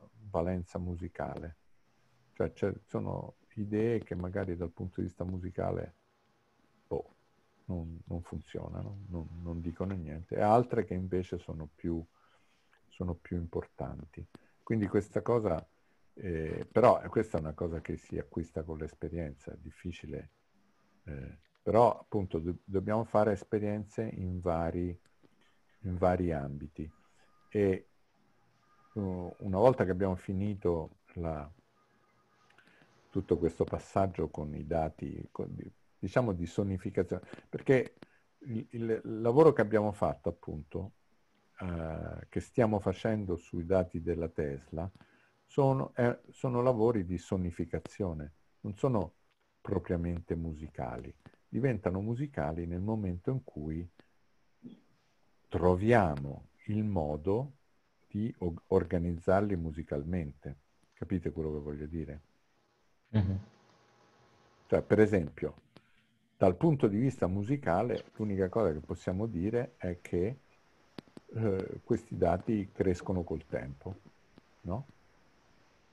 E, è come se facessimo un, un crescendo rossiniano che adesso vedremo per esempio con la nuova, con la nuova mandata eh, se per esempio questi corrispondono anche a un crescendo dal punto di vista di ampiezza, no? Questo significherebbe che i volumi di scambio crescono, no?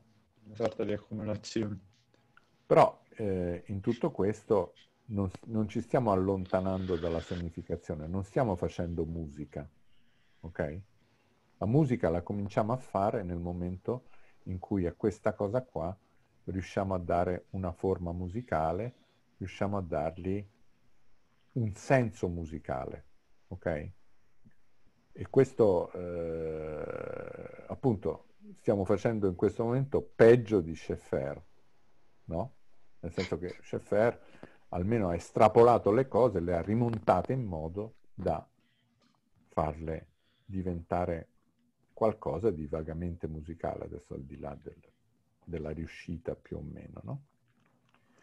E, e noi non siamo, ma non, non, ci dobbiamo, non è che mi, mi, voglio fustigare per questo, questo fa parte della, del percorso, no? Di capire che cos'è che, per esempio, cosa sarebbe più musicale? Sarebbe che certe, certi, certi cellule melodiche, chiamatele come pare, cellule ritmiche, eccetera, eccetera, si, si replicassero nel tempo, no? eh, ci fosse uno sviluppo da quel punto di vista, ci fossero delle similitudini che si colgono musicalmente e anche delle differenze che si colgono musicalmente.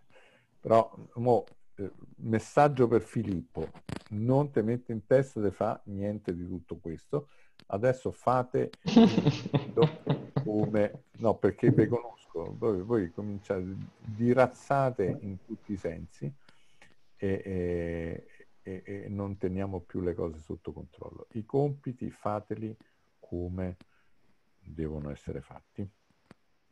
Ok? Va bene. Direi che possiamo chiudere qua, che dite? Ma sì. Eh? Siamo disfatti tutti quanti? Bene. Ok. Io... Buon allora, pranzo a tutti. Buon pranzo a tutti. Buon pranzo. Eh, ricordatevi di spedirmi le cose. Sì. Così le, le, mettiamo dentro. Va bene. Arrivederci. Ciao. Arrivederci. Alla prossima. Grazie.